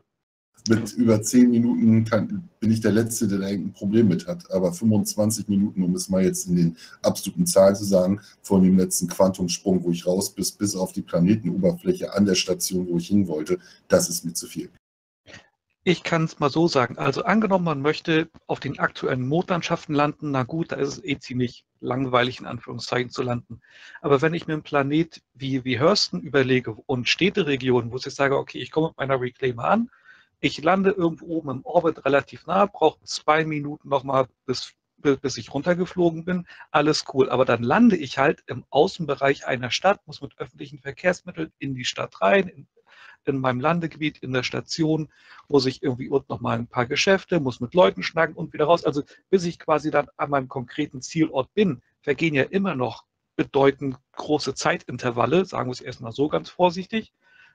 Und nur weil ich halt schnell gelandet bin, heißt es eben nicht, ich bin schnell da. Und dann hast du ja immer noch diesen von mir halt relativ stark gewünschten Erfolg. Ich bin wo angekommen, ich habe ein Erlebnis. Und nicht nur, okay, ich bin da, wo muss ich hin? Und 30 Sekunden später bin ich wieder weg, bin ich wieder weggedonnert. Also kann man sich halt alles ein bisschen, bisschen zurechtlegen. Und Obwohl ich gebe dir völlig recht, schnellere Landung, ja, 20 Minuten Landeanflüge sind nicht gut. Ich glaube, äh, Steinschneider, die 20 Minuten hast du die wirklich, wenn du 300 Kilometer weg warst. Ich habe 25 Minuten gebraucht, als ich ungefähr 615 Kilometer, ich habe gerade nochmal meine Aufzeichnung geguckt, also ich habe 25 Du warst 615 Kilometer weg. Ja, weil der Landeposten, wo ich da war, bin ich einmal hingesprungen und da habe ich geguckt, aha, da waren es 516, dann bin ich nochmal zurückgesprungen. Also gut, ich hätte 100 Kilometer ähm, können. Kleiner Tipp, äh, zwischen Quantum Travel sucht denn aus der äh, äh, gegenüber liegt äh, und dann in der Mitte das Quantum Travel versuchen abzubrechen. Am besten mit Ausschalten vom Schiff, dann hast wenn du es gut hinkriegst, hast du die Hälfte von der, von der Strecke. Gut, keine Frage. Habe ich zwar versucht, hat äh, regelmäßig bei mir nicht funktioniert. Ich weiß, was du meinst. Äh, ich habe jetzt aber wahrscheinlich, ich habe jetzt wahrscheinlich Power Off machen müssen. Ich habe nur Engine ausgeschaltet. Klar, ähm, aber darum geht es ja. Wir haben ja Vorschläge. Ja, bloß jetzt äh, ganz kurz, wenn wir das System, was wir da machen, Reinhard, da bist ja dann, die Bubble wird dann so berechnet wie die Atmosphäregröße. Das heißt, es kommt auf die, bei Planeten wird es wahrscheinlich länger dauern, bei Monden bist du wahrscheinlich schneller unten. Hier kommst du relativ direkt an äh, und hast dann die 35 Kilometer vielleicht noch oder die 50 Super. Kilometer. Und da bist du ja dann auch schneller runter. Und, ja, gar keine Frage. Alles äh, toll. Aber also, ich bin schon mit einem Capital Ship, wie, wie die Reclaimer eine ist. Large Ship, nicht Capital. Es ist kein Capital Ship. Äh, die, die Starfire wird auch als das kleinste Capital bezeichnet und das Ding ist nicht wirklich kleiner. Hm, also das, würde ich schon, das ist schon eine Capital Ship Klasse, die kleinste, äh, eine von den kleineren. Ähm, damit ist schon so, dass äh, ein Landeanflug schon lang und schwierig sein soll, weil die Schiffe eigentlich nur im Notfall zum Landen gedacht sind. Also ich habe gerade nochmal nachgeguckt, dort Ship, okay, auf der Ship-Matrix, ich weiß, kann man sich lange streiten, wird sie anders betitelt, egal. Ich will jetzt auch nicht nur die Kackerei machen. Jack, ich bin ja grundsätzlich bei dir und du hast vollkommen recht, so ein Schiff gehört ins Weltall und nicht auf den Boden. Äh, mir geht es aber nur darum, dass die Reclaimer jetzt das erste Schiff ist, wo man mal ein Gefühl bekommt, was große Schiffe angeht. Und wenn ich mir jetzt vorstelle, dass wir noch größere bekommen, wie schon gesagt, alles in Ordnung. Und es darf auch irgendwie Atmosphärenstörung geben und gewisse Planeten, da dauert das eine halbe Stunde. Alles überhaupt kein Thema. Nur, wenn man jetzt mal mit so einem Pott unterwegs ist, warum auch immer, und da, ist, äh, da hat Donnergroll es für mich irgendwo auf den Punkt gebracht, irgendwann kommt auch eine Ermüdungserscheinung. Und äh, wie schon gesagt, wenn ich abends von der Arbeit komme und habe zwei Stunden Zeit, ne, so viel das mal daran angehangen. Ja. Aber ich glaube, wenn du mit der Reclaimer unterwegs bist, sollst du nicht nur fünf Minuten Zeit nehmen. Nein, ich sagte zwei Stunden. ja, weil der, weißt, der Reclaimer ist, ist ein Schiff, wo du wirklich dir mit Leuten Zeit nehmen musst, um überhaupt mal reinzunehmen. Wenn du wenig Zeit hast, nimmst du Aurora oder einen kleinen Jäger oder einen kleinen Ding und dann hast du nämlich, bist du nämlich in der Zeit. Also in einem großen Schiff, wo du mit mehreren Leuten unterwegs bist, das sind normaler, normal fünf Minuten gar nichts. Da ist eine halbe Stunde nichts, weil du erstmal dich ähm, mit den Leuten auch absprechen musst, was du tust. Und da ist einfach die Zeit nichts. Wenn du natürlich, also die Reclaimer ist nun mal kein Single-Schiff und da sind normal 20 Minuten Spielzeit überhaupt nichts. Das ist, ist gerade mal einsteigen und losfliegen im Grunde. Ich sagte, wie gesagt, äh, das ist ja einfach nur wünschen. Wir sehen ja daran, dass Sie irgendwie versuchen, daran zu arbeiten. Sie würden keine Lösungsvorschläge für Chris Roberts vorbereiten, wenn ich wahrscheinlich der Einzige bin, der sich wünschen würde, dass man vielleicht ein bisschen was als Unterstützung bekommen könnte. Ja, die Quantum Travel Punkte sind wirklich zu wenig. Äh, das auf jeden Fall. Also das, das, da gebe ich dir auch recht, man muss schon ein bisschen näher an die Atmosphäre rankommen, wo man hin will. Also ja. so viel würde ich einem Computersystem schon zutrauen, dass das das irgendwie macht. Also ich habe noch zwei, eine Frage einmal, Dr. Steinschneider, wenn als du jetzt die 35 Kilometer, also praktisch nur von einmal runterfliegen sozusagen durch die Atmosphäre, äh, wie lange hat das dann gedauert jetzt mit der Reclaimer? Hast, oder hast du das jetzt nicht? Doch, doch, ich sag jetzt, ich habe also die Atmosphärenanzeige wird äh, bei dem Planeten, bei dem Mond, wo ich war, ab 30 Kilometer angezeigt. Mhm. Ich bin senkrecht runter, also ich stand unter dem Stützpunkt 500 Meter plus minus äh, möchte ich mal sagen, plus minus 100 Meter bin ich senkrecht runtergegangen und ich meine mich zu erinnern, dass das alleine bei 18 bis 19 Minuten lag. Ich bin aber auch vorsichtig, also die gesamte Landeprozedur. Vielleicht, dass ich 800 Meter, 600 Meter davor bin, aber diese Zeit meine ich alleine mit 15 Minuten, das kommt ungefähr hin. Das kann aber auch an technischen Schwierigkeiten liegen, weil wenn du zurzeit mit der Reclaimer zu schnell runtergehst, dann knallt sie dir auf den Boden auf. Also deswegen, wenn die Systeme vernünftig greifen, möge es schneller gehen. Ich kann jetzt nur vom Patch D reden und das heißt also, dass man schon wieder gegenbremsen muss, weil bevor die Anzeige, die den Abstand zum Boden anzeigt, wieder aufhört und langsam steigt, äh, manchmal zwei Kilometer fällt das Schiff, obwohl du mit allen Triebwerken dagegen steuerst und wenn du das Schiff nicht gleich zerstören willst, daher diese lange Zeitperiode, um das genau zu erklären. Ja, ich ich glaube, was da auch fehlt, ähm, ist eine Warnanzeige hier, äh, Way of No Return bei so großen Schiffen, wo du sagen kannst, okay, wenn ich jetzt nicht Gegenschub gebe, dann ist vorbei. Und deswegen fliegt man, glaube ich, mit der Reclaimer, vor allem wenn man gerade den aktuellen Patch nicht genau weiß, aber wenn man da bremsen muss, ich weiß es von früheren Patches, bin ich auch nur mit der Reclaimer, beim ersten Mal bin ich auch aufgeschlagen. Und wenn man dann natürlich so einen groben Punkt weiß, wo man dann früh spätestens abbremsen kann, dann ist man auch schneller unten. Ähm, das ist, macht natürlich auch Also das sollte viel natürlich dann irgendwann ein Bordcomputer für dich ausrechnen. Also. Zumindest so grob, dass du so ja. einen groben Zeit genau. Zeitraum hast. Genau. Alle Zeiten genannt habe, liegen daran, dass die ganze Steuerung, Mechanismus für die Reclaimer nicht funktioniert. Mhm. Ich habe nur da einen Schock bekommen, auf die Uhr geguckt und ich kann ja, wie gesagt, mich nur auf den aktuellen PTU-Patch beziehen, habe ja auch versucht zu erklären, wie diese Zeiten zusammenkommen. Aber wie schon gesagt, aufgrund ja dieser Frage und aufgrund der Antworten sehen wir ja, dass da vielleicht von der Richtung, die ich damit andeuten wollte, dass ich da nicht eben auch so ganz alleine dastehe. Ja, okay. Äh, wir haben also eine Sache hier noch zu dem Thema. Und zwar hat derjenige, der Bob äh, Rob Reininger, der das ja erzählt hat, er hat ähm, das so dargestellt, dass seine Präferenz das erste System wäre. Also dieses hier mit den, mit den dynamischen NAV-Punkten, die um den Planeten drumherum oder Mond drumherum gelegt werden.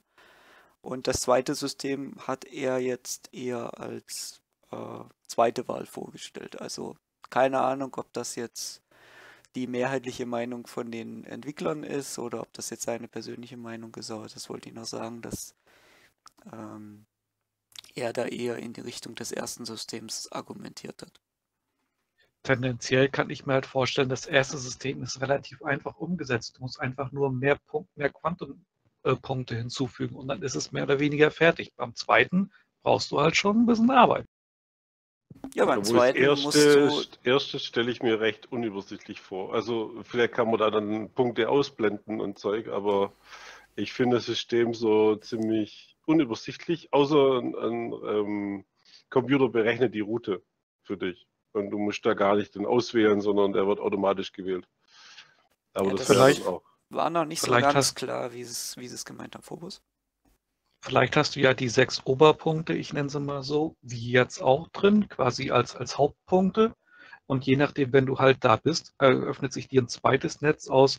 Okay, im Abstand von 100, von 100 Kilometern irgendwie und 100.000 Kilometern hast du quasi nochmal so, so Tortenringartig wieder was, wo du hinspringen kannst. Das wäre ja relativ einfach machbar.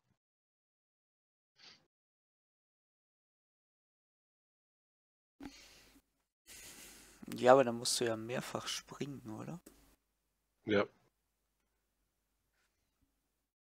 ja. Was ich dann aber als das kleinere Übel bezeichnen würde. Aktuell springe ich auf der Star Map Karte auch erst zum Planeten, zoom runter. Wenn ich dann beim Einpunkt bin, kann ich mir den zurechtdrehen in die Richtung und, und äh, drehe mir den hin. Wenn ich das Ziel angeben kann, ich möchte zu dem Nachpunkt, geht er quasi doppelt drauf und dann macht, springt, äh, zoomt er mir den hin ordentlich und zeigt mir darunter noch mal ein paar Punkte warum nicht? Also ich, was ja, okay, sowas, sowas, sowas, so wäre es cool, ja. Wie, also Fritz Shepard, Commander, hat das, glaube ich, ganz gut gerade im Chat. Ich muss das ja nicht weiter vorlesen, jeder hat den ja auf. Äh, glaube ich, ganz gut auf den Punkt gebracht. Sowas in der Richtung wird bestimmt auch kommen. Also ich bin da, äh, wie gesagt, äh, ganz optimistisch, dass wir sowas sehen werden. Und das braucht man auch, weil jeder, der irgendeinen anderen Flugsimulator jemals im Leben gespielt hat und wenn es einer aus den 90er Jahren war, weiß, dass man sogar da schon ein paar Anzeigen mehr hatte als zurzeit. Phobos, wie, wie hast du das gerade nochmal gemeint, ganz kurz ähm, mit den Jumps runter? Also wenn ich halt zum Beispiel jetzt mir die Star Map angucke und ich möchte nach Port Olisand, ich bin irgendwo auf einem Mond, dann klicke ich eben auch den entsprechenden, äh, kriege ich Crusader an und werde reingezoomt und dann sehe ich quasi die Umrundung oder die, die, das Hauptaugen, die, das nahe Gebiet von Crusader und kann dann eben Port Olisa anklicken. Und dann möchte ich halt zu irgendeinem Mond, dann klicke ich den doppelt an, ich werde reingezoomt auf eine Position, kann mir das angucken. Dann wird mir dort eben, wie jetzt auch, sechs oder acht primäre Punkte werden angezeigt und die Gebiete und die Position auf dem Planeten der, der Örtlichkeiten, also die, die Points of Interest.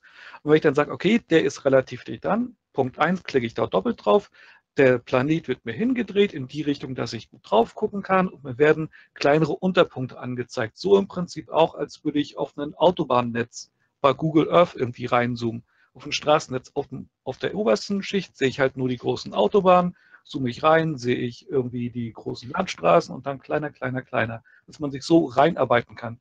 Du musst natürlich irgendwie eine Art von Übersichtlichkeit gestalten, weil wenn du um den ganzen Planeten herum 20, 30, 40 Jump Points hast, die du mehr oder weniger alle direkt anwählen kannst, na, das ist ja viel zu unübersichtlich, wie es schon jetzt werden könnte, wenn zu viele Points of Interest generell da wären.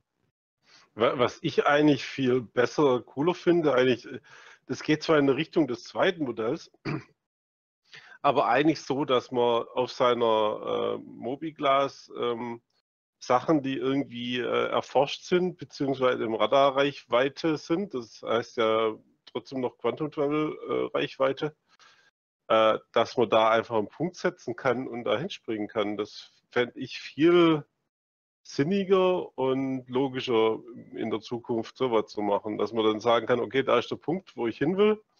Ich setze den Punkt jetzt, äh, was weiß ich, äh, in der Atmosphäre natürlich nur kann ich hinsetzen äh, davor und springe dann dahin. Dann brauche ich weder eine, eine, Bubble um so ein Target rum, noch brauche ich das Gitter um Planeten rum. Auch bestimmt ein super Ansatz. Ich würde mich über beide Wege freuen, weil wie gesagt, äh, auch wenn wir hier Sci-Fi im 29. Jahrhundert sind, ich glaube, wir können das ganze Thema, und ich will das jetzt nicht abwürgen, die Diskussion, aber ich glaube, glaub, wir, sind, wir sind durch, ja, ja. Sehe ich äh, auch so.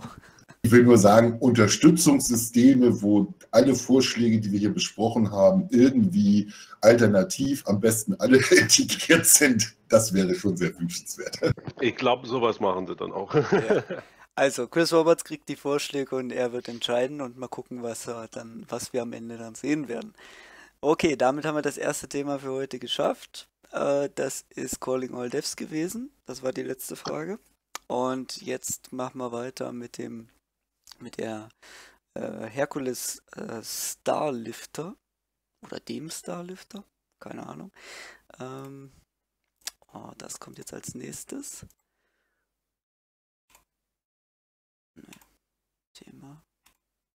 Was ist das nicht ein schönes Schiff? Ich habe mich gleich verliebt. Genau, sag schon mal was. Ich werde es hier mal einblenden. Einen Moment. Aber warum also, haben sie das nicht gleich als kleinen Hangar noch gemacht und nicht nur als Panzerprodukt? Ich, ich, muss, dir, ich muss dir ganz ehrlich sagen, ich habe dieses Schiff gesehen und wusste nur gleich, also einfach vom Design, ich glaube, das ist das erste Mal, wo ich gleich sagte, ah, Ben! Also ähm, ist Wahnsinn, keine Frage, man muss dafür auch die Verwendung haben, aber ich finde das einfach vom, vom, vom Designkonzept, ich sage ganz ehrlich, äh, für mich ist es ja, mit das hübscheste Schiff, was ich seit ganz, ganz, ganz langer Zeit gesehen habe. So, mich hat das Schiff. Ja. Phobos, mach weiter. mich hat das Schiff total an den großen Bomber aus dem Film Avatar erinnert, wo dann auch Bomben rausgeschmissen ja. werden. Der hat auch so ein ähnliches Design, so die Richtung von oben, so die, die Grundform, die vier Düsen an den Seiten, so irgendwie, ja, da hat einer sich inspirieren lassen. Und aus der realen Welt ist das vielleicht eine Antonov oder sowas in der Richtung? Nein, die Antonov ist nicht so ähm, Was mir aufgefallen ist, das Schiff sieht so ähnlich aus wie der Franzose auf dem T-Shirt, das Schiff von dem, äh, auf dem T-Shirt. Also der hat doch so ein T-Shirt auf mit so einem Raumschiff und so einer Frau. Der, ich glaube, das war doch der, der Tonk gesagt hat. Ähm, und da müsst ihr mal vergleichen. Das, das kommt mir irgendwie ähnlich vor, so vom Grundprinzip wie das Schiff. War das nicht sogar der Designer, der es entworfen hat? War er nicht? Wie auch immer. Äh, ich finde es auf jeden Fall. Ist es nicht hübsch? Ich finde es Da hast du sogar recht. Ja. Gut, also. Äh, was haben wir jetzt hier? Hercules Starlifter gibt es in, also wir sehen es ja hier, in drei Varianten. Äh, das müsste jetzt hier die Basisvariante sein. Oder, nee, das ist nicht die Basisvariante, das ist die äh, Military-Variante. Müsste das sein? Gut, aber wir, gehen wir einfach mal, also lassen wir es hier mal weiterlaufen. Und ähm, also was haben wir? Wir haben die Basisvariante, Militärvariante und das Gunship. Äh, die Basisvariante ist äh, halt Cargo, ähm, hat vier bemannte, vier bemannte Geschütztürme und hat halt dieses weiß-rote Design da. Es passen, wie ihr da schon seht, so zwei so Nova-Panzer rein. Es sind zwei Ebenen, das Schiff, also untere Ebene ist Cargo und obere Ebene ist dann die Crewquartiere und die Brücke und das ganze Zeug. Bei der ähm, Militärvariante gibt es dann natürlich äh, mehr, also mehr Waffen auf der einen Seite, aber dann auch noch äh, mehr Cargo im Vergleich zur Basisvariante. Und beim Gunship hat man die Hälfte Cargo und die Hälfte, die man nicht Cargo hat, da kann man dann äh, Bomben äh, sich einlagern und die können dann abgeworfen werden, sodass man ein Bombardement auf der Oberfläche äh, starten kann. Oder halt auch im, im Weltall, aber ich weiß nicht, wie sinnvoll das im Weltall sein wird.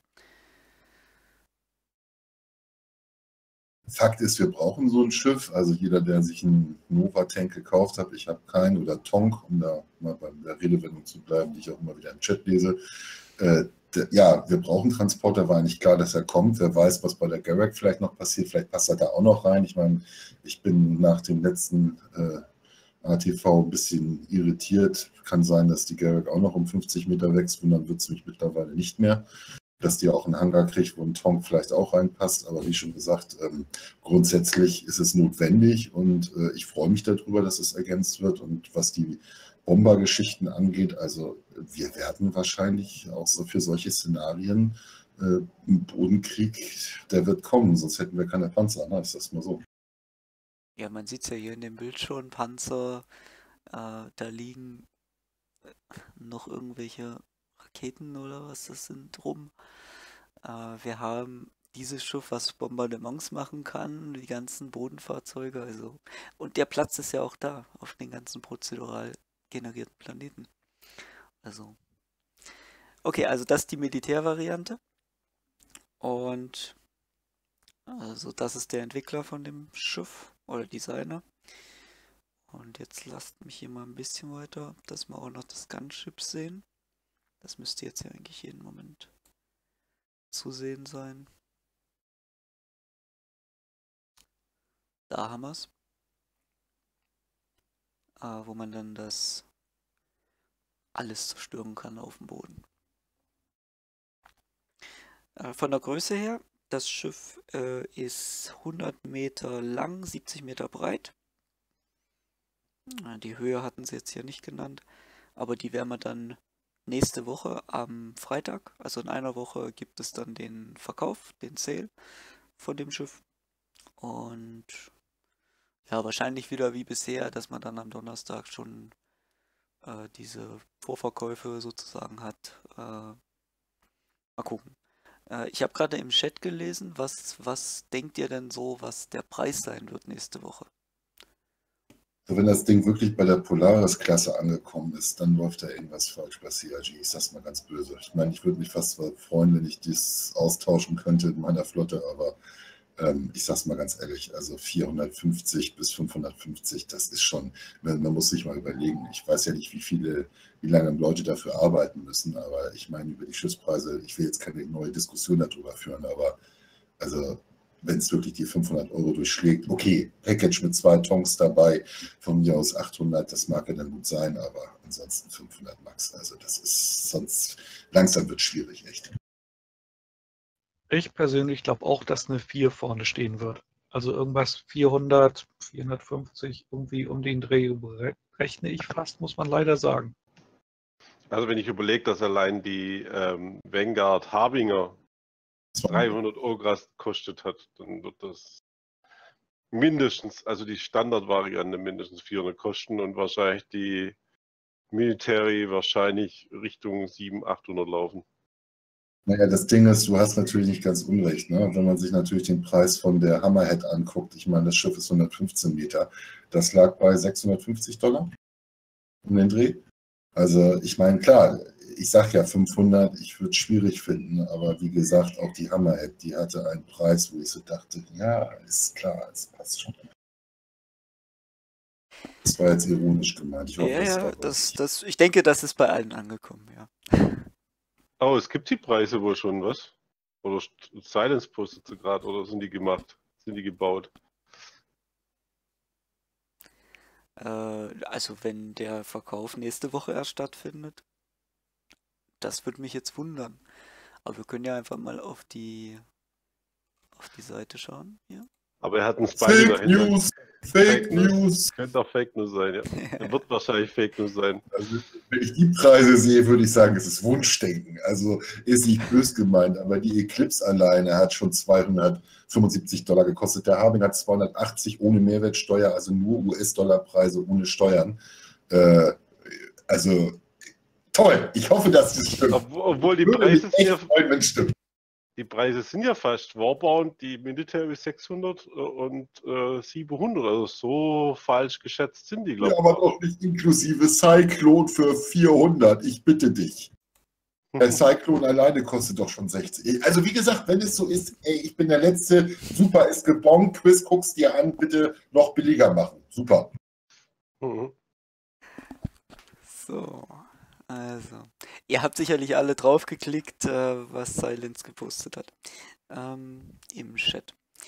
So, okay, was haben wir noch hier zu, zu sagen äh, zur Starlifter? Ähm, ja, natürlich das Design von der Starliner-Serie haben sie da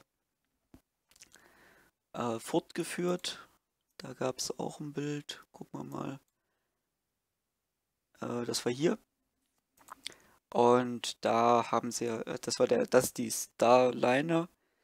Und äh, da haben sie halt, haben sie erklärt, dass sie verschiedene Design, ähm, das Design sozusagen da angepasst haben, dass das so, weil das, also dass es von der gleichen Firma sich anfühlt.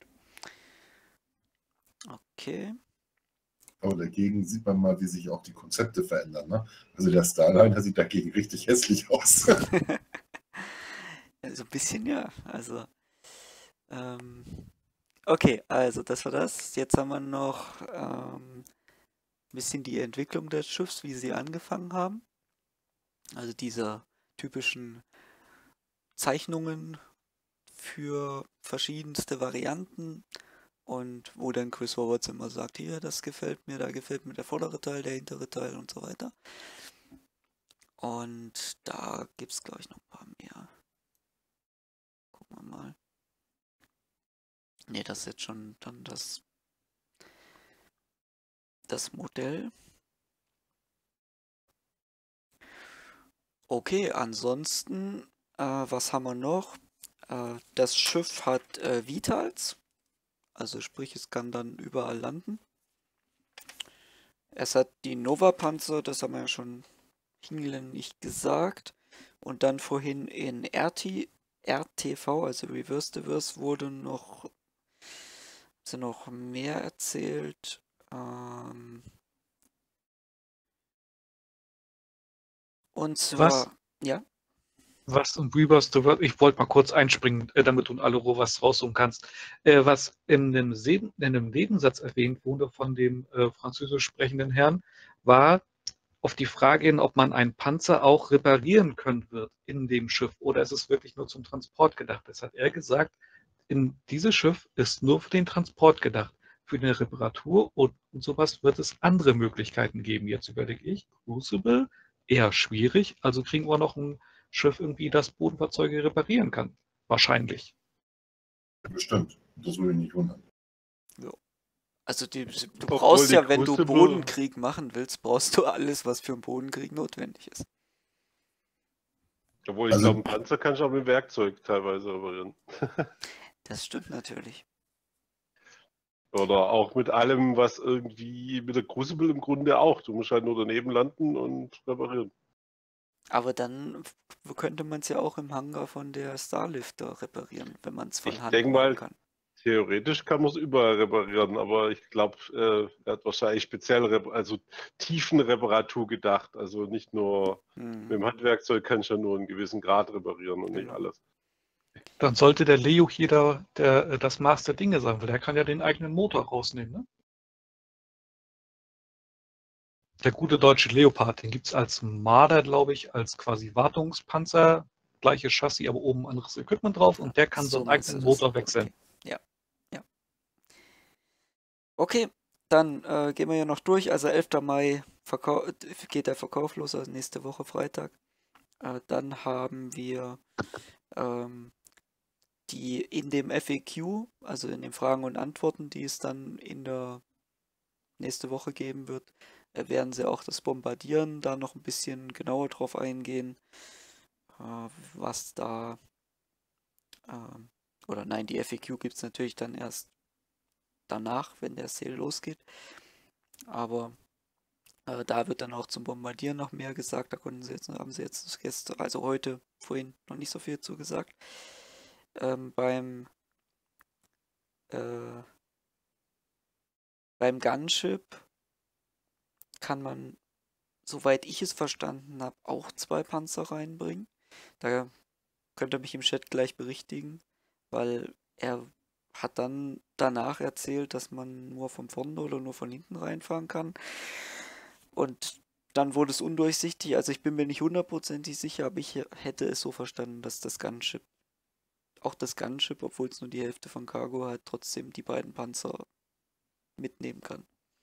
Das habe ich anders verstanden. Und okay. zwar die vordere Luke ist für die Zuladung des Panzers gedacht und hinten raus kannst du die Bomben rausschmeißen. Ist natürlich nicht so vorteilhaft, die Bomben in die eigene Flugbahn zu werfen. Daher die Bomben hinten raus. Und theoretisch, wenn man keine Bomben drin hat, könnte man den zweiten Panzer mitnehmen, weiß ich aber nicht, weil da sind ja vielleicht auch Vorrichtungen für die Bomben vorgesehen, aber eigentlich kann man nur dann einen Panzer mitnehmen. Hm. Ja, genau, da war ich mir nämlich nicht sicher, weil im ersten Satz sagt er, es sind zwei Panzer und danach erklärt er das, was du erklärt hast. Deswegen, ich weiß es nicht ganz genau. Müssen wir abwarten, was nächste Woche rauskommt. Also Jesse, nochmal ganz kurz ja. zu der Info, die gepostet worden ist. Ich musste mich jetzt erstmal meinen Account einloggen, die stimmt. Es ist wirklich so. Also es gibt noch einen Link, den siehst du gerade. Sorry, dass ich Fake News gesagt habe, ich konnte es mir nicht vorstellen. Äh, da gibt es Achso, noch. beim Concierge kannst du schon. Äh, von Silence, ja, tatsächlich, ich musste mich eben nur einloggen. Ich gucke ja auch nicht jeden Tag auf die Website und schaue mir die von oben bis unten an. Äh, es stimmt. Also jetzt, ich habe jetzt die Preise natürlich mit Mehrwertsteuer, aber die Preise sind realistisch, ja, tatsächlich. Es ist inklusive Cyclone, ist das Schiff für Deutschland für 476 US-Dollar zu haben. Es, es ist unglaublich, aber 400 Dollar, ja inklusive Cyclone, also 476, das ist jetzt schon mit Mehrwertsteuer. Das heißt also, sorry, ich nehme alles zurück. Äh, ich konnte es mir einfach nicht vorstellen. Es ist wirklich so. Komisch, ich bin auch ganz Search. Ich finde es nicht. Naja, das Ding ist, es hängt von der Klasse ab, wo du bist. Vielleicht hast du es unter, also ich habe es jetzt gefunden, ich kann es mal hier in den Chat hauen. Also das werden die, die Leute, die in der Klasse sind, werden es aufrufen können. Aber wahrscheinlich ähm, nur ab, ab, äh, was ist das, äh, Grand Admiral oder so, oder? Vielleicht. Also der Link ist jetzt im Chat. Äh, wer ihn aufrufen kann, äh, ist in der Klasse. Ich musste mich eben mit einem mit meinem einen Account einloggen, wo ich dann Zugriff auf diese Daten habe. Äh, sorry, aber ich kann es mir echt nicht vorstellen. Okay, aber äh, wie gesagt, du kannst nochmal auf, auf den Link gehen von Silencer, der ist um... Ja gut, so komme ich drauf, ich habe es bloß nicht gefunden. Äh, ja, nee, ist ja auch okay. Also wie schon gesagt, ich entschuldige mich, äh, tut mir leid, in der heutigen Zeit, ich konnte es mir einfach nicht vorstellen. Es hat mir echt gerade meine Fantasie. Und der Post ist auch schon... Okay, ja, Entschuldigung, der Post ist auch, schon, ist auch schon seit über einem Tag draußen. Also okay. Dann okay. Ah, aber die Preise, was wir vorher gesehen haben, glaube ohne Mehrwertsteuer. Wenn ich das aufmache, dann sind Mehrwertsteuer, dann kommen wir mal drauf, dann ist das A2 Herkules bei mir 833 US-Dollar zum Beispiel.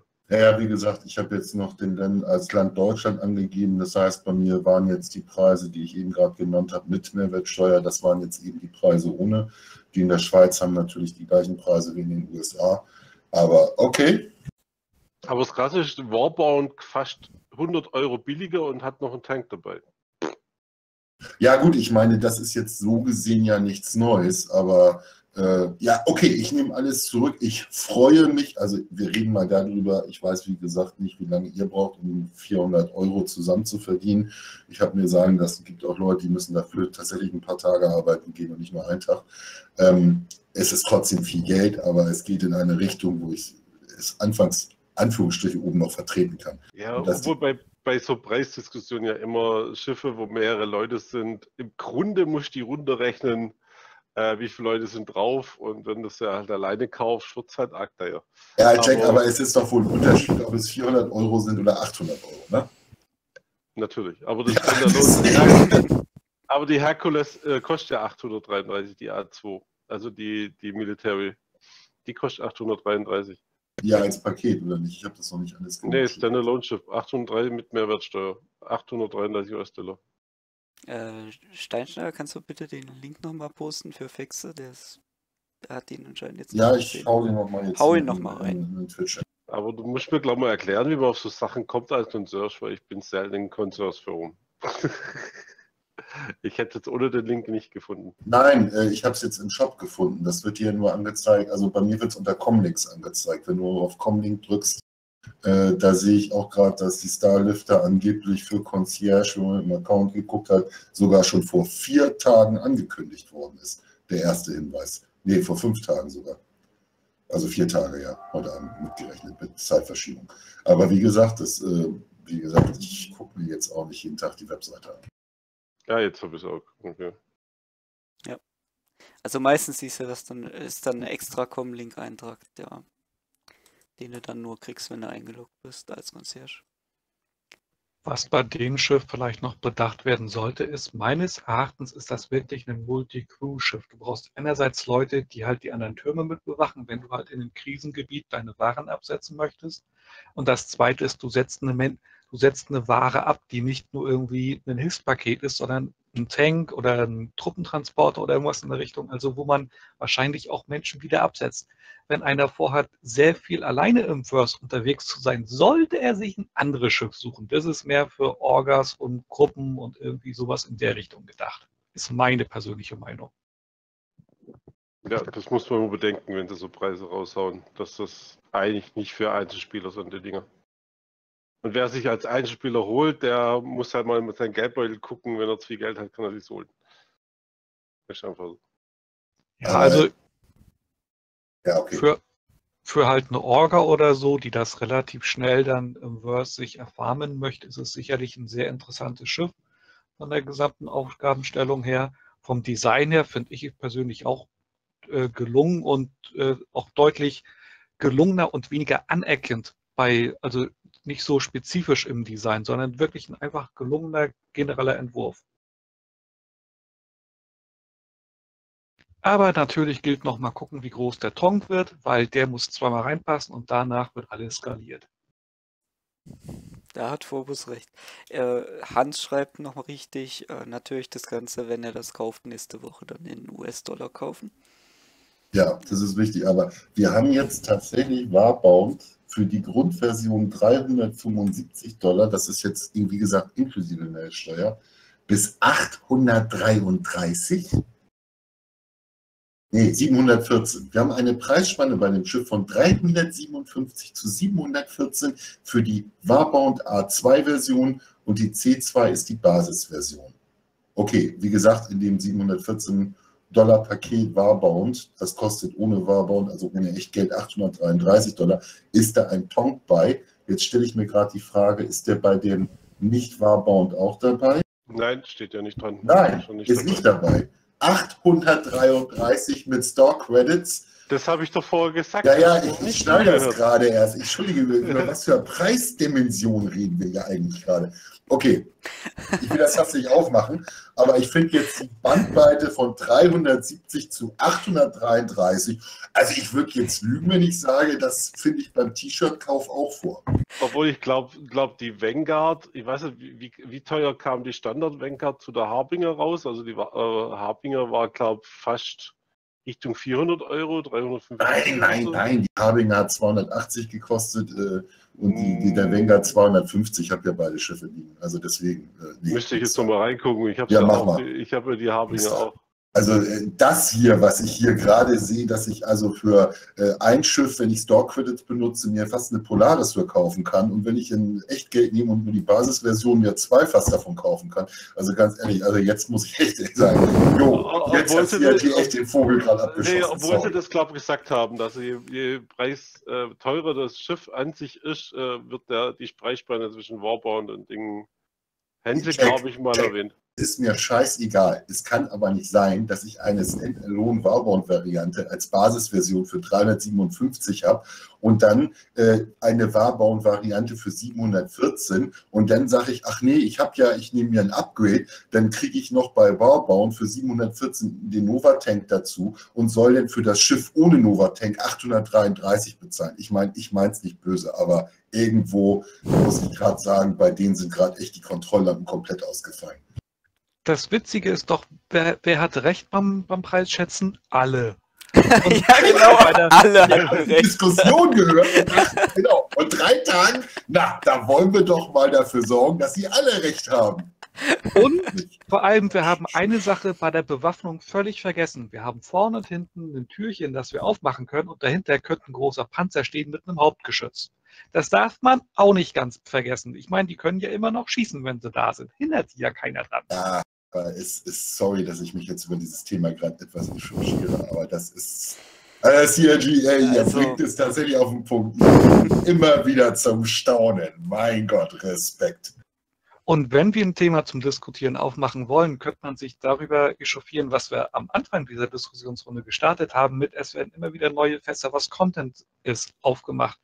Warum muss man jetzt anfangen, ein Schiff zu bringen, das Bomben abwerfen kann, wenn man auch so viele andere Baustellen hat, die man irgendwie mal, mal füllen könnte mit Content. Also es ist halt jetzt mit das gesamte Thema Bomben wird was aufgemacht. Vor einiger Zeit, als der äh, Cyclone gebracht wurde, hatten wir Bodenkämpfe, wurde aufgemacht mit kleinen beweglichen Dingern. Dann hatten wir den Tonk als, als Panzer. Jetzt haben wir hier Bomben, worüber noch keiner was weiß. Das sind aber die Planetentech aufgemacht. Das ist, glaube ich, eigentlich nur ähm, wie soll man sagen, das ist, kam halt aus ähm, der Bedingung draus, dass wir jetzt äh, Booten haben, also viel Booten, wo was, wo was kaputt machen kann. Ich, ich glaube, das, das war einfach die Konsequenz daraus, dass man da jetzt äh, mehr draus machen muss. Gebe ich dir völlig recht, aber warum sagt man nicht, okay, 2018 die Konzepte nutzen wir mal, um die bestehenden Lücken zuzumachen?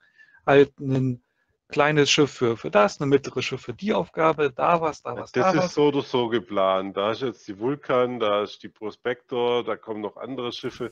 Dass die Schiffe kommen, brauchst du dir, glaube ich, keine Gedanken machen. Aber das sind ja die Anfängerschiffe. Ich glaube, wenn mal die Mechaniken funktionieren, sind die Schiffe schnell gebaut. Ich ja, denke halt nur, Warum wartet man nicht einfach ein Jahr mit dem ganzen Anführungszeichen Plünn und Trödel? Also erstmal nee, halt an anderen Stellen was, was, was fertig machen. Ich habe da, da die Antwort drauf.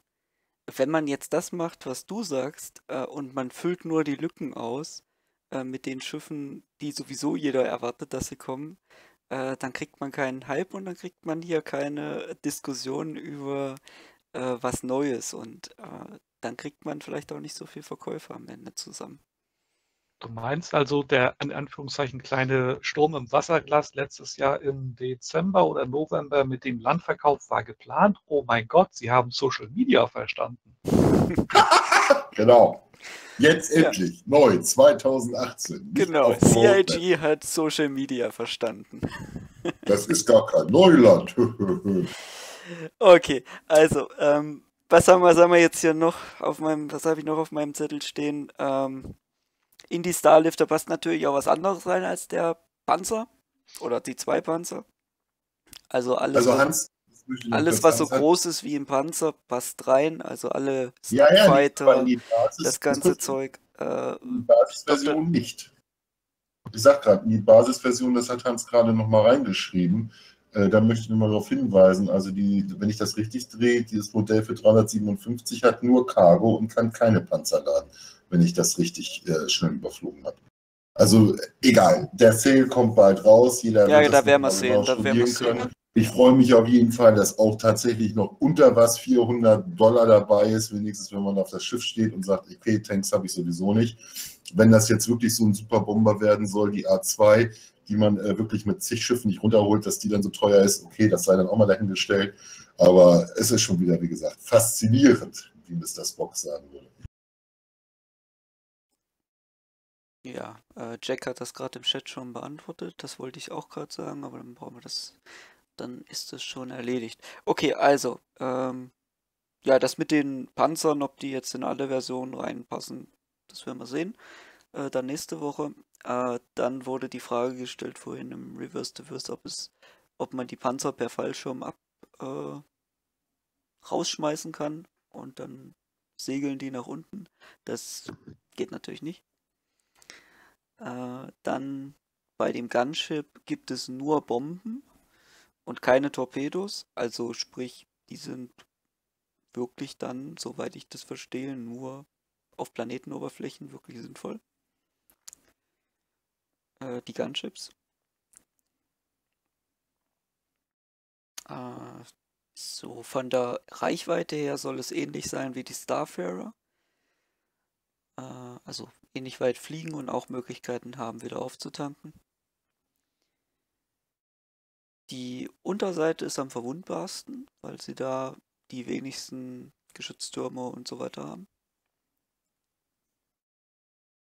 Und äh, ja, natürlich jetzt dieses Jahr wird da nicht mehr viel passieren. Sie müssen erstmal für den Hersteller Crusader äh, die Guideline überhaupt erstellen und sich überlegen, wie die Schiffe aussehen sollen und wie das Interieur aussehen soll und das ganze Zeug. Ähm, das haben sie natürlich alles noch nicht. Okay. Das ist alles, was ich mir aufgeschrieben habe. Ja. Dir noch irgendwas anderes zu sagen zu diesem Schiff? Guck nochmal im Chat. Ich finde es ein bisschen schade, dass ein Gunboat dann nur Bomben werfen kann. Ich glaube, da hat der Suag auf Star Wars geguckt. Auf der letzten. Ja, also die, was den Bomber angeht, das waren auch so Bilder, die ich gerade im Kopf hatte. Ja, fand ich ein bisschen, so eine Mischung wäre ganz cool gewesen, dass man, aber nur Bomben. Jetzt, wo ich dieses Schiff sehe, Jack, wer weiß nicht, ob das nicht auch noch kommt.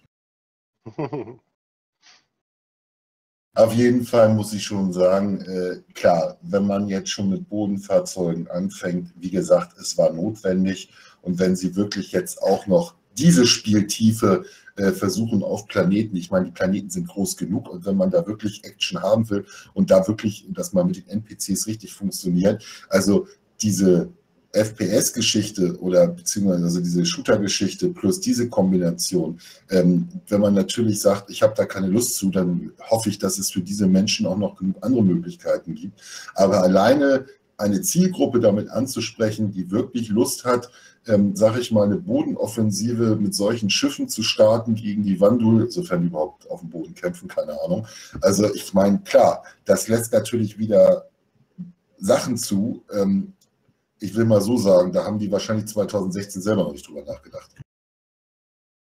Die könnten den Modus im Arena Commander einbauen und dann haben sie den Planet Side 2, was ein Free-to-Play-Spiel ist, mit so einem riesengroßen Schlachtgetümmel mit mehreren tausend Leuten könnten die hier im, im Nu quasi mehr oder weniger erschaffen. Plus halt noch, wie es dann im ersten Star Wars ja, UK, war ja. oder im zweiten, dass du halt in die Atmosphäre noch hoch kannst und da tobt auch ein Krieg, weil du bist da mit Raumschiffen unterwegs. Also die Möglichkeiten dieses Spiels sind wahnsinnig groß. Man muss nur die eigenen Erwartungen und die Möglichkeiten irgendwo auf dem Augenmaß bringen, dass man sagt, okay, ich will es nicht 2030 haben, sondern vielleicht 2022. Ja, wie schon gesagt, ich meine, äh, jetzt haben sie ja das Fass aufgemacht. Und ich meine, jeder, der den Nova gesehen hat, dem war völlig klar, oder auch beim Cyclone war klar, als, die AA, als ich die AA-Variante gesehen habe, ich gedacht, ja, okay, macht schon Sinn.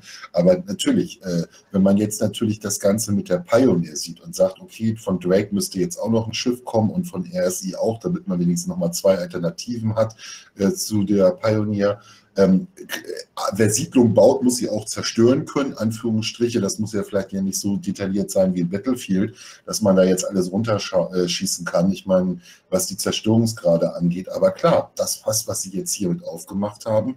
Ähm, wenn man sich natürlich die Lore anguckt, ist es konsequent, gar keine Frage. Aber es ist natürlich äh, die Dimension, was das alles mittlerweile umfasst. Also da wird einem ja wirklich nur noch schwindlig. So, also äh, im Chat wurde gefragt, die, äh, wie viel SCU da reinpassen und das haben sie vorhin beim R in RTV gesagt. Ähm, ich konnte es nur äh, im Livestream nicht direkt mitschreiben, es war ne, der etwas schwierig rauszuhören. Uh, the Deswegen, very first äh, hören wir da jetzt nochmal rein uh, und gucken mal, was sie da genau gesagt haben.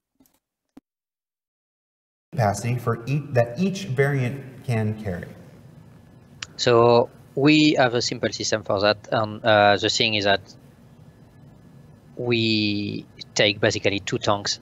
so two tanks is the amount of SCU for the cargo variant. So the C2 has a 624 SCU, the M2 has 468 SCU, and the A2 is basically one half of this, so it's 234 SCU. I do. And of course, when uh, there's, there's almost. So we have a simple system for that, and uh, the thing is that we take basically two tanks. so two tanks is the amount of SCU for the cargo variant. So the C2 has a 624 SCU, the M2 has 468 SCU, and the A2 is basically one half of this, so it's 234 SCU. I do. And of course, when uh, there's so, mal wieder zurück. Also, ähm, die Basisvariante ähm, also die Variante, wo zwei Panzer rein können, die hat 624 SCU. Hört man mich überhaupt? Ja, doch. Ähm, Hans hat schon im Chat geschrieben. 468, 234. Genau. Äh, genau. Ganz schön, dass du wieder dabei bist. Ach, ist das alles schön mit Richtig. Danke dir. Und, aber jetzt muss man natürlich noch sagen, was jetzt was ist. Also, ja, denkt euch einfach so, da wo das meiste Cargo drin ist, das ist 624 und die äh, Gunship-Variante ist dann die 234. So, haben wir das auch geklärt. Alles klar. Noch irgendwas zur Starlifter? Trotzdem schickes Schiff. Ja, also wenn du die 800, wie viel waren es? 800 Dollar äh, Store Credit oder 800 Euro Store Credit äh, zum Umtauschen haben willst, ja, dann äh, kannst du es haben, ansonsten nicht. Also, es gibt auch Ingame-Ziele, Jetty. Es gibt genau, auch Ingame-Ziele. So würde ich das auch sehen. Ähm, ja. Gut, dann lasst uns weitermachen. Äh, haben wir über die Starlifter, glaube ich, jetzt äh, fast eine Stunde geredet und wir wissen überhaupt noch nicht wirklich viel dazu. Äh, ja, werden wir nächste Woche, ah ne, nächste Woche, äh, genau, werde ich das hier gleich mal einwerfen. Äh, nächste Woche äh, ist die Diskussionsrunde am Sonntag, also am 13. Mai. Äh, dass ihr das schon mal wisst, also nächsten Freitag ist keine Diskussionsrunde, erst am ähm, Sonntag, den 13. So, jetzt machen wir weiter mit dem dritten Thema für heute. Und zwar werden wir jetzt kurz über die Hurricane sprechen. Aber wenn wir das hier mal pausieren, den Twitch-Stream, so, da wieder zurück. Und ähm, gehen hier mal zur Hurricane. Ne? Da sehen wir sie. Oh, wo habe ich sie? Genau. Also Hurricane ist natürlich das Schiff, äh, das auch immer gern als Glaskanone ähm, bezeichnet wird. Und wir ja, haben jetzt hier 10 Minuten, wo sie ein bisschen erzählen. Äh, mit Sherman natürlich, also hier sehen wir die im Hangar. Wir haben, wir haben halt die, äh, die Kanonen auf beiden Seiten und dann natürlich den äh, Geschützturm oben in der Mitte. Und was, also worauf er, worauf sie jetzt sozusagen das äh, erstmal Wert legen, ist, dass man, dass man dieses Schiff vor allem in Geschwadern sehen sollte. Also nicht ein Schiff alleine, sondern man sollte das eigentlich sehen als, da kommen fünf oder zehn auf einmal. Und dann ist es eine wirkliche Gefahr für ein Capital-Schiff, äh, dass dann, weil vor allem dieser Geschützturm, der da oben ist, äh, man kann mit dem mit der Hurricane dann hinfliegen, den Geschützturm so drehen, sich an die Geschwindigkeit des Capital-Schiffs anpassen und dann richtig minutenlang äh, auf ein Ziel ballern. Also wenn der Geschützturmschütze natürlich gut genug ist. So habe ich mir das Schiff eigentlich auch immer vorgestellt, dass es ein Schiff dafür da ist, um bestimmte Bestandteile äh, zu treffen von einem Schiff, um gezielt äh, Bestandteile auszuschalten. Das wird es gut können durch den Turm. Und das sagt er ja da auch, ne, wenn ich das jetzt richtig genau, verstehe. Genau, so hat er das, genau so hat er das auch erklärt. Also du hast, du hast den Sinn des Schiffs richtig verstanden. Äh, hier haben wir auch nochmal ein Bild. Ähm, was, was auch noch für das Schiff spricht, ist im Vergleich zu anderen Schiffen, die oder anderen Waffensystemen, die dann halt Munition verwenden. Hier werden halt Laser verwendet. Äh, dass solange man genug Kühlung und genug Energie hat, kann man halt äh, praktisch unendlich schießen mit dem Teil. Und das würde halt genau das noch unterstützen, was, was, also dass man das äh, Schiff, also ein Capital Ship dann Mürbe schießen kann sozusagen. Ähm, Jesse, im, im ja. Konzept waren es, glaube ich, doch aber ballistische. Ist das jetzt fix? Äh, wird die jetzt ausgeliefert mit äh, Energie oder ballistische? Sie da was gesagt? Also Sie haben jetzt sicher, Sie haben jetzt halt nur sozusagen äh, die, Sie haben das in Kontrast gestellt und äh, haben den Laser, haben hier halt vor allem für die Hurricane halt den Laser hervorgehoben. Also vielleicht ist das ein Unterschied zum Konzept, das habe ich jetzt nicht überprüft. Also ich meine, die war damals ein Turm ballistische, aber das kann mich jetzt täuschen. Nee, nee, das täuscht dich nicht. Das meine ich mich auch ziemlich sicher so zu erinnern. Ja. Ich weiß auf jeden Fall, dass es da eine Diskussion gab, ob ballistisch oder Energie. Gut, Jetzt muss man natürlich noch mal kurz auf die Historie hingucken. Dieses Schiff ist ja deutlich älter, glaube ich, als die Hornet. Also es hat ja auch einen Grund gehabt, wenn man jetzt lore-technisch sich das Ganze anschaut, warum die Hurricane niemals entwickelt worden ist, was die Vandul-Angriffe angeht, wenn ich das noch richtig im Kopf habe. Das heißt ja auch, warum die Lightning das aktuelle Kampfschiff ist und eigentlich die Super Hornet oder die gesamte Hornet-Reihe eigentlich sozusagen schon zur Ausmusterung gehört. Deswegen wurde die Super Lightning ja entwickelt sofern sie nicht nur technisch jetzt wieder alles umgestrickt haben, in einem Jahr, wo ich mal nicht so viel das Thema verfolgt habe. Ähm, das hat ja einen Grund, warum sie immer stärkere, warum Envil immer stärkere Schiffe hervorgebracht hat. Und die Hurricane ist ja sozusagen noch der Vorgänger von diesen ganzen Varianten. Und ähm, dass sie eben gerade in gewissen Kriegssituationen das brauchten, um das einzusetzen. Und äh, was ich damit nur zum Ausdruck bringen wollte. Ich meine, klar, die Hurricane hat ihre Daseinsberechtigung und ich glaube, als Gunner wird man sehr viel Freude haben. Ja, wenn der Pilot mitmacht. Ja, wenn der Pilot mitmacht. Man muss gut zusammenspielen. Das würde ich auch sagen.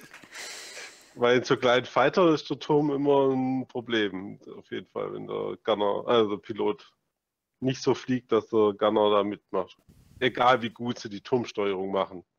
Das kann man gar nicht so hundertprozentig machen. Das, der Meinung bin ich bis heute, dass sie das gar nicht so perfekt hinkriegen können. Gut, aber du kannst natürlich, sofern das auch sich nicht überholt hat, natürlich den Turm durch eine KI ersetzen, beziehungsweise den Turm gerade, also gimmelmäßig das fixen. Wenn ich das noch richtig im Kopf habe, sollte es ja möglich sein, den Pilot, dass man die Waffen trotzdem abfeuern kann, wenn es den, man kann den Turm eben nicht bewegen, vielleicht durch Module, sofern das Schiff dann überhaupt dafür Platz vorsieht, dass man Module einsetzen kann. Das ist ja auch von den Komponenten abhängig, aber äh, ich, ich, hoffe nur, dass natürlich die Verteidigungsmechanismen der Kapitälschiffe dann so sind, dass man eben da keine halbe Stunde draufhalten muss, um mal eins von den Teilen runterzuholen. Äh, aber grundsätzlich, wie gesagt, als, als Überraschungsangriff äh, ist das äh, absolut notwendig, dass wir so ein Schiff haben. Und was die Feuerpower angeht, wenn es eben eine sehr zerbrechliche Hülle hat, ich finde es dann in Ordnung. Jo, hier sehen wir jetzt den Innenraum, also das Cockpit. Äh, in verschiedenen Varianten. Und ja, ansonsten äh, kommen wir zu den Sachen, die sie in RTV vorhin erzählt haben. Äh, da hatte dann nämlich der Matt Sherman nochmal erzählt äh, in Richtung Energieversorgung. Also da hat er den Punkt nochmal unterstrichen, den wir vorhin schon gesagt haben. Äh, wenn man mit den sechs Waffen, die da sind, die ganze Zeit durchfeuert, dann kann man eine Minute oder so feuern. Äh, wenn man wenn halt der Pilot sich ums Fliegen kümmert und ein äh, Schütze im Geschützturm sitzt, dann, also sozusagen nur der Geschützturm feuert, äh, dann könnte man fast unendlich äh, schießen. So, das habe ich. Dann, äh, das Schiff ist, nicht, ist natürlich kein Langstreckenschiff, also ist, ist, ist, denke ich, klar. Träger gestützt wie die Hornet. Gladius. Genau. Hornet, Gladius hatten sie da auch. Das heißt Beispiel. keine Intakes. Ja. Gut, was ich natürlich immer solche Schiffe sehe, und wir hatten das Thema schon vorhin mit dem Vanguard, also da muss ich mal sagen, äh, beim Vanguard hoffe ich, dass sie sich auch noch was einfallen lassen, die ein bisschen stärker zu machen, weil da denke ich dann immer so, das passt dann nicht mehr so ganz in die Reihe, aber egal, wir schauen mal, was das bei Linksing denn noch bringt. Gut, ja, das sind alle Sachen, die ich mir aufgeschrieben hatte. Schönes Schiff, weil ich habe das damals geholt. Ja, also, also wer jetzt so auf Glaskanone steht, also ich denke, ich denke, das, was Sie jetzt gesagt haben, wenn man das als Geschwader sieht, nicht als einzelnes Schiff, sondern als Geschwader von vier, fünf, also fünf bis zehn, und die kommen da auf deine, auf deine, auf dein größeres Schiff zugeflogen, da sagst du dann schon mal, oh, jetzt äh, schicke ich vielleicht mal meine Hornets raus und versuche die vorher abzuballern, bevor die hier sind. Wenn du dann welche an Bord hast. Äh, genau, das, das sollte man natürlich haben, ja. ja, also ich denke, da, da kann sich schon ganz gutes äh, Gameplay ergeben. Dann für Aber die großen Gilden natürlich. Das erklärt aber auch, warum die Hammerhead notwendig war. Also äh, wer jetzt zum Beispiel mit einer Polaris unterwegs ist, also gerade bei diesen äh, Angriffsszenarien wird immer deutlicher, dass eine Polaris ohne eine Hammerhead äh, oder zwei Stück sogar eine vorne, eine hinten, um das irgendwie mal zu symbolisieren, warum dieses Schiff eben auch entwickelt worden ist. Weil wie will sich eine Polaris gegen sowas verteidigen? Die kann nur noch hoffen und beten, dass sie rechtzeitig abhauen kann.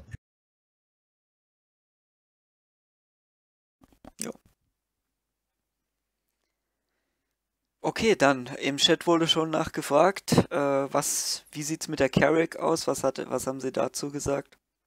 Und da hat, da gab es ja beim letzten Ship Shape ein Vote, äh, welche, über welches Schiff soll Jared noch ein bisschen mehr erzählen und da ist die Carrick natürlich rausgekommen.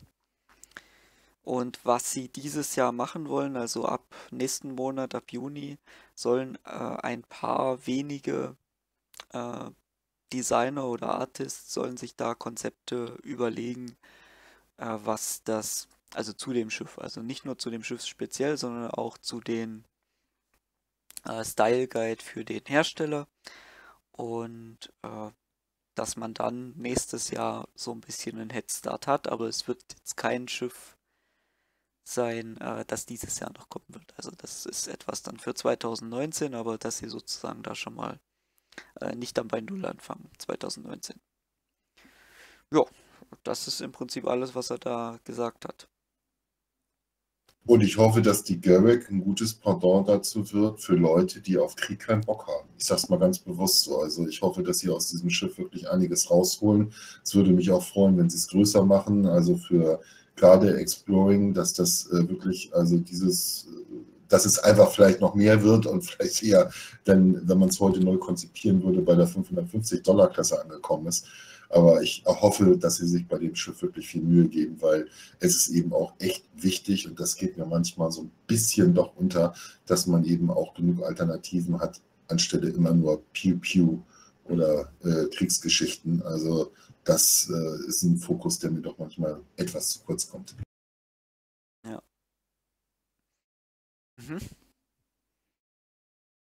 Gut. Dann äh, haben wir zu Hurricane, glaube ich, alles gesagt. Ich gucke nochmal. Uh, uh, ja, im Chat haben wir. Ich denke, wir haben alles. Wir haben da jetzt alles gesagt. Falls wir noch was vergessen haben, äh, schreibt es noch im Chat, dann können wir das gleich noch ergänzen. Und dann äh, gehen wir zum letzten Thema für heute. Das ist der Statusreport. Und da. Na, jetzt. So. Und zwar haben wir da äh, Rick, Nachnamen ist mir jetzt empfallen, äh, wieder, der uns hier erzählt, was es alles Neues gibt. Ich muss erstmal hinblättern jetzt auf meinen Aufzeichnungen. Und zwar haben wir als erstes, ah, das war nicht das erste, Moment. Oh, das geht, da geht's los. Genau, also das erste ist hier das Kiosk, wo man den Equipment Manager sehen kann. Und wir müssen, glaube ich, noch ein Stück zurück. Genau. Genau, also da sehen wir das Kiosk. Das ist der Vehicle Loadout Manager. Und jetzt wir, kann man hier weggehen und dann seht ihr schon, gibt es halt diese ganzen Animationen, dass man dann ranzoomt und dass dann das UI langsam aufklappt. Und wenn man weggeht, wie wir es gerade schon gesehen haben, dass, dass dann sozusagen auch dieses, dieses Menü auf dem Bildschirm ausgeht. Diese ganzen Geschichten äh, bauen sie jetzt gerade, dass, dass das alles ähm, ja, sich richtig anfühlt. So seine Aussage. Ich hoffe nur, Sie denken dann auch daran, das so zu machen, dass die Person oder der, der, der das Medikiken auf dem Bild dann so aussieht, wie ich, quasi auch mit der äußeren Gestaltung. Ja. Also Gesicht und Frisuren und, und all so einen Quatsch meine ich jetzt. Ach so, ob sie das jetzt schon machen, das kann ich dir nicht sagen. Ähm, also das Schiff sollte hoffentlich schon gleich aussehen, aber wie jetzt hier, ob der Charakter, den man jetzt hier sieht, ob der dann gleich aussieht. Müsste aber eigentlich, weil du, du wählst ja deine Kleidung aus und dann müsste es ja eigentlich richtig repräsentiert sein.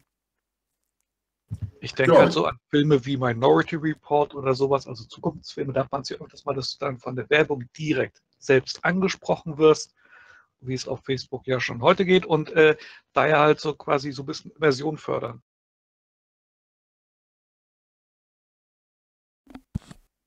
Ja. Äh, gut, ich meine, Priorität 1 hätte das jetzt nicht, aber ich denke, das wird kommen. Sowas wird kommen, das werden sie nach und nach einbauen. Bin ich auch sicher. Also ich, ich denke gerade mal über 3.0 nach und wenn ich mir die Mobiglas erste Version anschaue, mir jetzt schon die Version anschaue, die wir jetzt in 3.1 haben, also da ist ja schon einiges passiert. Ist ja nicht so, äh, als ob man sagen kann, äh, hallo, das ist noch immer die erste Version, mit der wir rumarbeiten. Klar, natürlich, es ist ja auch notwendig, ne? weil was nützt mir, wie gesagt, wir hatten das vorhin mit den Schiffsanzeigen, was nützt mir eben, wenn irgendwie alles halbwegs funktioniert, aber ich habe trotzdem keine Anzeigen, um das irgendwie halbwegs runterzubekommen, so ein Schiff. Also alles greift natürlich ineinander, aber ich, wie gesagt, an solchen kleinen Beispielen sieht man ja, es geht voran und ich freue mich und ich denke, äh, was äh, vorhin ja auch schon gesagt worden ist, ich hoffe, dass wir dieses Jahr einige Fortschritte sehen, also vielleicht mehr als in den letzten 14, 18 Monaten. Hier haben wir jetzt noch die Sachen im Mobiglas, also außer, also nicht im Kiosk und da machen sie jetzt auch, machen sie halt auch dann entsprechende Verbesserungen, äh, wie das hier eingeblendet wird und so weiter. Dann haben wir als nächstes Quantum Travel, da gab es äh, Fehler. Äh, wenn man aus dem Quantum Travel rauskommt, dann äh, wurde die Physik Engine, also die wurden verschiedene Massen nicht zurückgesetzt und dann ähm, wurden die sozusagen, nachdem man schon aus dem Quantum Travel raus ist, dann erst aktiviert und dann ist verschiedenes Unfug passiert und das, da haben sie einen Fehler behoben. Und das sollte diese Einspielung da zeigen. Ähm, dann haben wir hier Scanning. Da haben wir vorhin schon drüber gesprochen. Da haben sie jetzt eine Gruppe, die sich äh, damit beschäftigt, wie Scanning funktionieren könnte, ja, wie das UI aussehen könnte. Und äh, das ist alles Forschung und Entwicklung sozusagen. äh, wie man sowas sozusagen sehen könnte. Also ganz am Anfang. Genau das. Was ich bei, ja, sag. Was ich persönlich bei diesen Testversuchen aber schon mal gut fand, ist, dass ich hier auf einen Blick gleich ein Gefühl dafür hatte, wo das im Raum ist.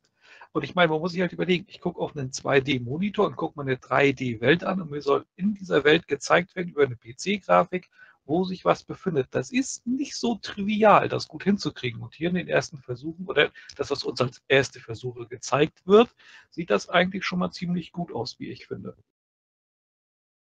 Ja, vor allem, also ich finde vor allem hier diese Burg, Burgkubusse da oben sehr schön, sehr hübsch. Ja, also so können sie das, kann das durchaus was sein, ja. Dann haben wir hier die Shader für, oder Grafikeffekte eigentlich, äh, die sie versuchen, die man dann für alle möglichen Anomalien im Weltall nutzen könnte damit ist, da ist, denke ich, noch mehr zu tun. Äh, das ist hier die Hammerhead, das Interieur, Interieur, verschiedene Aufnahmen oder Einblicke. Dann haben wir als nächstes die 600i. Das ist größtenteils fertig. Wir sind jetzt hier noch an den äh, Escape Pods dran.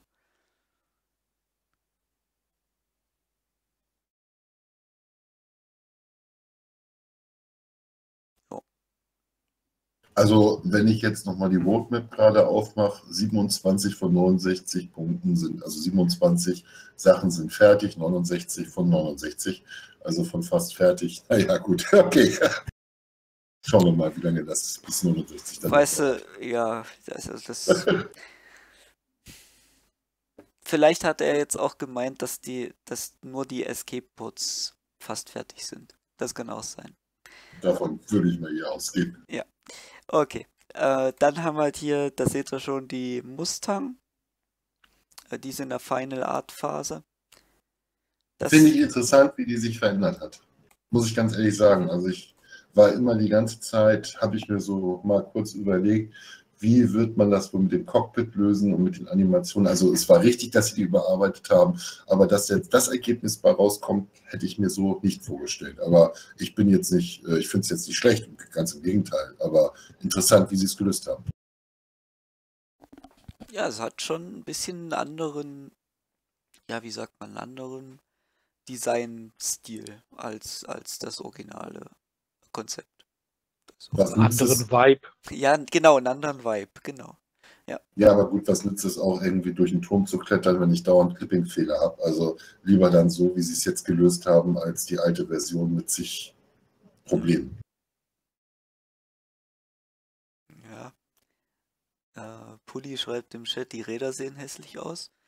Da würde ich ihm fast zustimmen. Die passen, die könnte man vielleicht noch verändern, aber wird ja auch vielleicht noch, das ist ja noch nicht. Das, das denke ich, das könnte ich mir fast vorstellen, dass das einfach nur so ein Platzhalter ist. Okay, ähm, also das die Wollen Mustang. Wir da große 20 Zoll, 20 Zoll Alufelgen oder was soll da rein? ja, genau, die Reifen sind einfach zu klein. Das ist das, ist das Problem, das stimmt. Ich durch Dampers Depot laufe und finde irgendwo Alufelgen für solche Schiffe, dann weiß ich. Lieber Chris, ich glaube, wir müssen uns mal unterhalten. Die, die Sache, müssen die Räder bei so Raumschiffen überhaupt so groß sein? Die müssen ja nicht für ein Landemanöver dienen. Du landest ja senkrecht und da müssen die, glaube ich, gar nicht so äh, viel aushalten. Die müssen einfach nur zum Hin- und Herschieben gut sein, glaube ich. So ein ja, also bisschen also Jack, nach vorne rollen. Jack, jetzt sind wir wieder beim sehr gefährlichen Punkt. Jetzt fang nicht mit Logik an. Hä? Ja, manchmal ist das schwierig. Von der Sache also her ist natürlich energetisch gesehen ist es günstiger, auf Geschwindigkeit zu kommen und dann abzuheben. Deshalb fliegt halt ein Flugzeug auch, wie es fliegt und landet und nicht wie ein Senkrechtstarter. Also oh, oh. von daher, die Räder haben schon ihren Sinn und Zweck bei so einem Raumschiff. Theoretisch. Herr Forus, warum brauche ich, warum brauche ich Luftklappen im Weltall? Ne? Aber das lassen wir. also ganz, ganz, na gut. Es ist eben so in diesem Universum. Wer Räder hat, will sie auch nutzen irgendwann mal. Ja, genau. Fahrräder, genau. Das ist das nächste Konzept. Ja, und im All, All äh, wirkt die Kühlung anders wie in der Atmosphäre. Und wenn du in der Atmosphäre gehst, brauchst du wieder die normale Kühlung. Ja, aber ich ja. denke, du hast verstanden, wo ich drauf hinaus will. Genau. So, wir haben jetzt hier noch äh, verschiedene Props, die haben wir schon das letzte Mal gesehen. Äh, ich lasse die nochmal durchlaufen, weil die haben wir jetzt nur so halb gesehen. Also hier, das sind für die Hangar. Äh, da gibt es da verschiedene Sachen. Und äh, das ist auch im Hangar.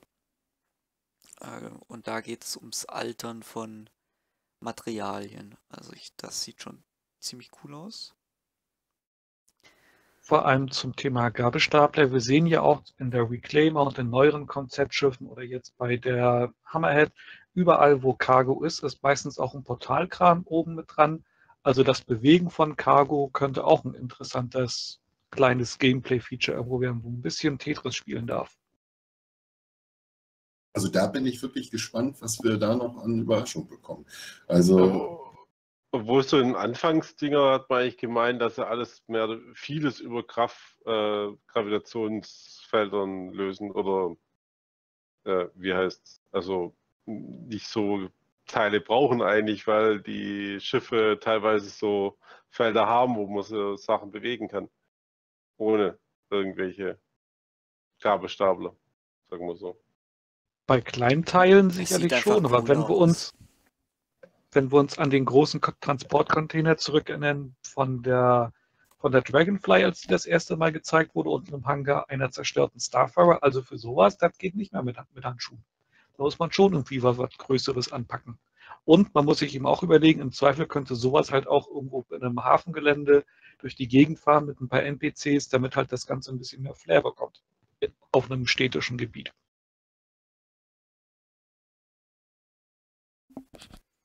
Ja.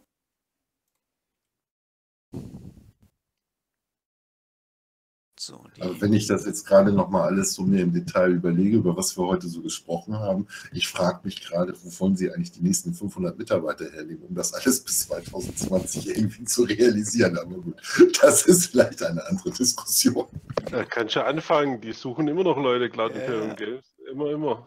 Also wenn du in Frankfurt bist äh, oder dahin ziehen willst, da kannst du immer hin.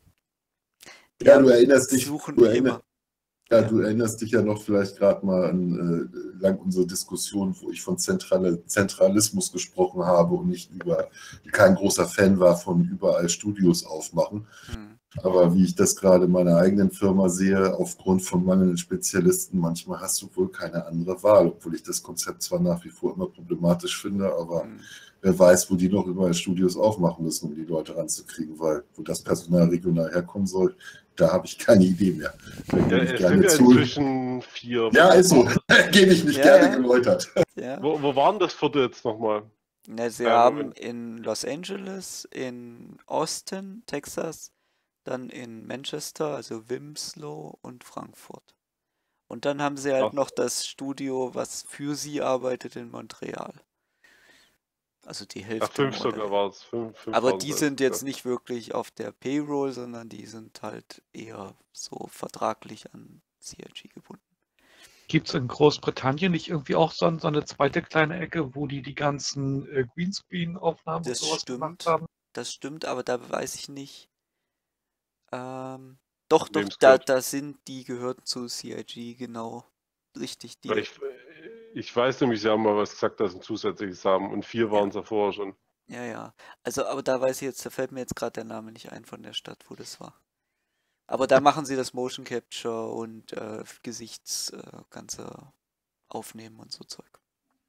Aber kleine Sachen, glaube ich, machen sie auch in den, innerhalb der Studios, ne? Haben sie nicht gesagt, ja, ja, dass sie das kleine auch, Motion Capture Studios auch installiert, ja, installiert haben? Ja, ja, das, das machen, das machen sie auch. Also die Animation, das Animationsteam hat so ein eigenes kleines äh, Motion Capture Setup, wo sie jetzt so kleinere Bewegungen äh, selbst aufnehmen können. Was ja für ein Animationsteam auch ganz sinnvoll ist, dass die jetzt nicht immer erst sagen müssen, hier ähm, machen wir ein großes Studio und jetzt schickt uns mal da ein paar Schauspieler hin, sondern für so kleine Bewegungen, Zwischenbewegungen reicht es ja völlig aus, wenn sich da einer von den Entwicklern hinstellt. Definitiv. Zumal die Bewegung erklären dauert garantiert länger als selber fix hinstellen und machen. Also. Ja, das kommt noch dazu. Also, das sind, aber so haben sie das erklärt, das sind eher jetzt, wenn sie halt so Zwischenszenen brauchen oder irgendwas Kleineres, wo, wo es darum geht, äh, ähm, was hatten sie da als Beispiel? Äh, dass die, sie hatten schon, dass die Kiste von, von einer normalen Höhe in die Hand genommen wird, aber sie brauchten was, wo die Kiste halt über Kopf aus dem Regal rausgeholt werden soll. Das heißt, sie hatten im Prinzip schon alles und es ging nur darum, dass sich einer hinstellt mit so einer Kiste aufs Regal äh, und das aufgenommen wird, wie holt er das runter und wie bewegen sich die Arme. Ich glaube, so, so in der Richtung war das Beispiel. So, okay, äh, was haben wir noch? Dann, äh, das war ganz interessant, eine prozedurale ähm, Platzierung von äh, sogenannten Props. Das sehen wir jetzt hier. Äh, eigentlich, genau.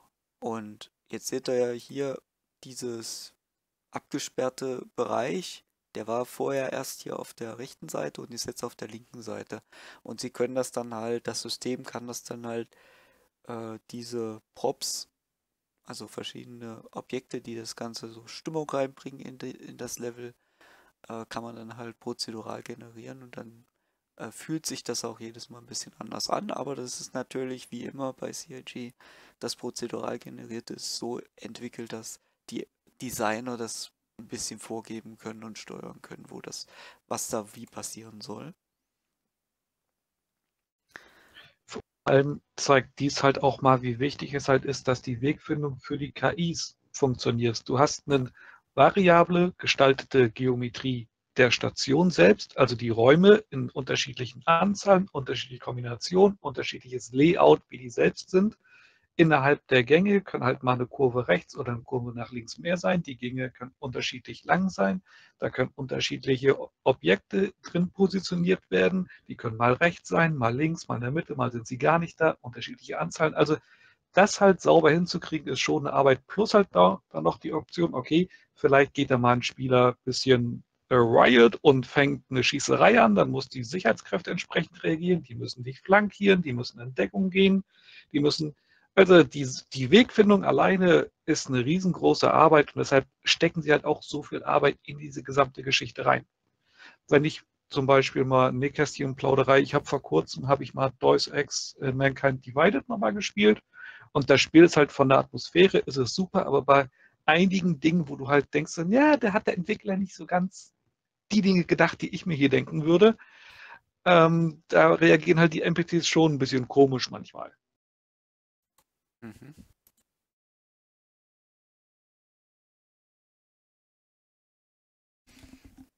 Ja, also da haben wir die verschiedenen äh, Platzierungsmöglichkeiten gesehen. Also wenn immer hier unten auf Execute äh, drückt, wird dann halt eine neue prozedural generierte Version dieses dieser Szene geladen. Und äh, sie haben dann auch noch genauer erklärt, wie das funktioniert. Also hier an dem letzten Bild, wo, wo auf diesem, wo diese Tabletts mit den Essen angezeigt werden, äh, das sind sogenannte Spawn-Volumes. Und die kann, können man dann halt an, an verschiedenen Punkten an einem äh, Objekt oder in einer Map, wie jetzt hier auf diesem äh, Tischchen, äh, kann man dann halt sagen, okay, hier gibt es jetzt, äh, wie viel sind das, vielleicht sieben oder acht solche Volumes und da können dann halt jedes Mal äh, anders generiert irgendwelche Props reingeladen werden. Und mal sind es weniger, mal sind, werden mehr benutzt. Ja. Und vor allem, die können ineinander verkettet werden. Du kannst quasi diesen Tresen haben, da hat die Option, du kannst, okay, PC, du kannst Objekte eines gewissen Volumens kannst du auf mir positionieren. Dann guckt dann seine Datenbank rein und sagt, hey, ich mache mal eine Schale oder guck mal, ein Tablett geht auch. Dann merkt das Tablett, hey, auf mir kann man Objekte diesen, dieses Volumens positionieren. Dann merkt das eben, okay, ich mache mal eine Schale mit Suppe rein und dann merkt das Objekt wieder, hey, auf mir kann man positionieren. Dann kommt da eine Gabel rein, ein Löffel oder ein Strohhalm oder was, was auch immer. Richtig. Ja, sehr gut. Und so am Ende, mal ist es eine, eine, ein Glas mit Milch und mal ist es ein heißer Kaffee und schon ist streng genommen die Station eine völlig andere, auch wenn alles andere sonst identisch ist. Und auch wenn die Millionen, oder der sagen wir mal so, auch wenn die sehr, sehr viele Stationen reinbauen, wird eigentlich keine der anderen hundertprozentig gleich sein, weil irgendwie Aufkleber, Farben, Objekte, Geometrielandschaften, irgendwas ist immer anders. Und sei es nur, mal hat die Suppe einen Löffel und mal eben eine Gabel. Ja. Solange ich nicht das, solange ich nicht das Gefühl habe, dass es ist wie in Elite Dangerous, bin ich schon happy. Da kann ich auch auf eine ganze Galaxie verzichten. Ja. Also, äh, sie haben, also ich denke, es wird, sie haben uns das ja schon gezeigt, wie viele verschiedene Layouts es geben kann. Äh, von, von diesen, das waren ja diese Truckstops und da haben wir ja auch gerade einen Truckstop oder Reststop jetzt gesehen. Und äh, also wir kriegen sozusagen nicht nur, das habe ich da jetzt rausgezogen, wir kriegen nicht nur verschiedene Raumaufteilungen und verschiedene Räume, sondern wir kriegen dann auch noch zusätzlich in den Räumen nicht äh, sozusagen immer den gleichen Raum zu sehen, nur dass er jetzt an einer anderen Stelle ist, äh, sondern dass auch noch die Objekte, die da drin sind, sich sind. auch noch verändern. Also du auch wirklich nicht das Gefühl hast, dass jetzt hier äh, dieser Raum recycelt wurde. Muss man mal natürlich gucken, wie es dann im, am Ende wirklich sich anfühlt, aber ähm, das könnte schon, äh, also im Vergleich zu Elite Dangerous äh, wird, wird es oder X, äh, X Rebirth äh, wird es dann, viel besser sein. Great Messer in Space. okay, also machen wir hier noch den letzten Punkt. Äh, was ähm, das ist Hürsten. Äh, die verschiedenen Materialien, hier ein Whitebox äh, von Lorville müsste das sein. Und ja, da haben wir ja letztes Mal auch schon was gesehen. Also höchstens scheinen sie jetzt wirklich am Arbeiten zu sein. Und das waren die Sachen, die es diese Woche auf die es diese Woche gab, was den Update anging. Dann hatten wir vor ganz am Anfang gesagt, dass wir nochmal auf die Roadmap schauen wollten. Das werden wir auch noch tun. Development Roadmap. Gucken wir mal, sieht man das? 3.2 oder 7. Okay, also. Ähm, na, scrollt nicht. Doch jetzt. Also wir haben natürlich die ganzen Armor-Sets. Ich äh, glaube, das ist jetzt eher nicht so spannend. Äh, ich denke mal Gameplay, das sind die wirklich wichtigen Sachen. Ähm, Gameplay und Performance. Ja. Also wir haben natürlich die Quantum Travel Improvements, da haben wir vorhin schon drüber gesprochen, ist in Arbeit 1 von 4 Tasks abgeschlossen. Äh, Economy Polish, also das Wirtschaftssystem überarbeiten, das äh, war ja in dem Vote dabei. Äh. Dann das Gruppensystem, das hatte glaube ich die meisten Stimmen bekommen, wenn mich nicht alles täuscht. Äh, oder eins der meisten Stimmen bekommen äh, dass man eben besser in der Gruppe zusammenspielen kann. Äh, da ist noch einiges zu tun, aber schon ein bisschen was geschafft, 9 von 26. Was haben wir noch? Service Beacon Improvement, das war glaube ich schon von Anfang an dabei.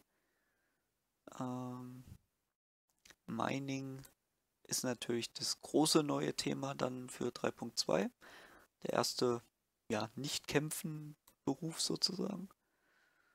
Obwohl wir ja schon Handel. Also. Ja, aber beim Handel musst du ja auch immer, immer, mal rumballern, um dich zu wehren. Ja gut, beim Mining auch, wenn du angegriffen wirst, muss aber... Kannst, kannst du recht haben, aber ich habe, weißt du, ich habe das, ich habe die, ich habe die Idee oder die Hoffnung, dass das jetzt eigentlich schon heute so groß ist, dass du beim Mining höchstwahrscheinlich nicht gefunden wirst, wenn du, also, weil niemand weiß, wo du bist. Ja, man kann jetzt schon stundenlang, bloß dass sie halt gerade durch die NPCs-Spawns dieses halt. machen, du kommst trotzdem manchmal NPCs entgegen, die dich angreifen. Das ist gerade momentan so. Ja. Aber da stehst du ja. Also da kann, da kann ja jetzt auch kein. Also da müssten sie ja dann absichtlich sozusagen für dich jetzt was spawnen. Vielleicht machen ja, sie tun sie gerade auch. Tun sie gerade auch irgendwie. Also irgendwas scheint da gerade ab und zu. Aber genau verstehe ich die Logik auch nicht dahinter, aber irgendwas ist da. Okay. Dann haben wir Quantum Linking, was natürlich mit den Gruppen zusammenhängt. Da haben sie noch nichts gemacht. Äh, 0 von 7 Tasks. Obwohl das ja schon mal so Ansatz für. nee, war nicht drin, aber ich habe nichts gesagt. Im Monatsreport steht zum Thema Quantum Linking ein bisschen was drin. Und zwar der Gedanke ist eigentlich, dass der, der, die Quantum-Reise nicht nur auf den Knopf drücken ist, sondern die Maschinen müssen quasi ein bisschen konfiguriert werden in die Richtung. Mhm. Und wenn du halt dicht genug beieinander bist und du hast die gleiche Konfiguration für mehrere Schiffe und alle stimmen dafür quasi überein, dann fliegen die dann gemeinsam zu einem Ort hin. Langfristig wird halt Quantum Drive nicht nur auf den Knopf drücken und los sein. Ich meine, bei einem kleinen Schiff wie der Aurora ist das immer noch ein überschaubarer Arbeitsbereich, sagen wir es mal so. Aber halt bei einem großen Capital-Schiff, wo halt Dutzende von Leuten drauf sind, ist das wirklich so, okay, Steuermann sagt Maschinenraum, wir wollen jetzt Warp 3. Und dann muss eben Jordi oder Schrotti oder wer auch immer im Maschinenraum sagen, seine, seine fünf Leute anweisen und Hebel umlegen und Stromkreise umverteilen und dann marschiert die Maschine eben los. Das kann schon interessant werden. Ja. Und äh, zum Thema hier äh, Monatsreport noch. Ich habe mir ich, ich habe einmal durchgescrollt zum Anfang und das Bild von, von Frankfurt Studio gesehen.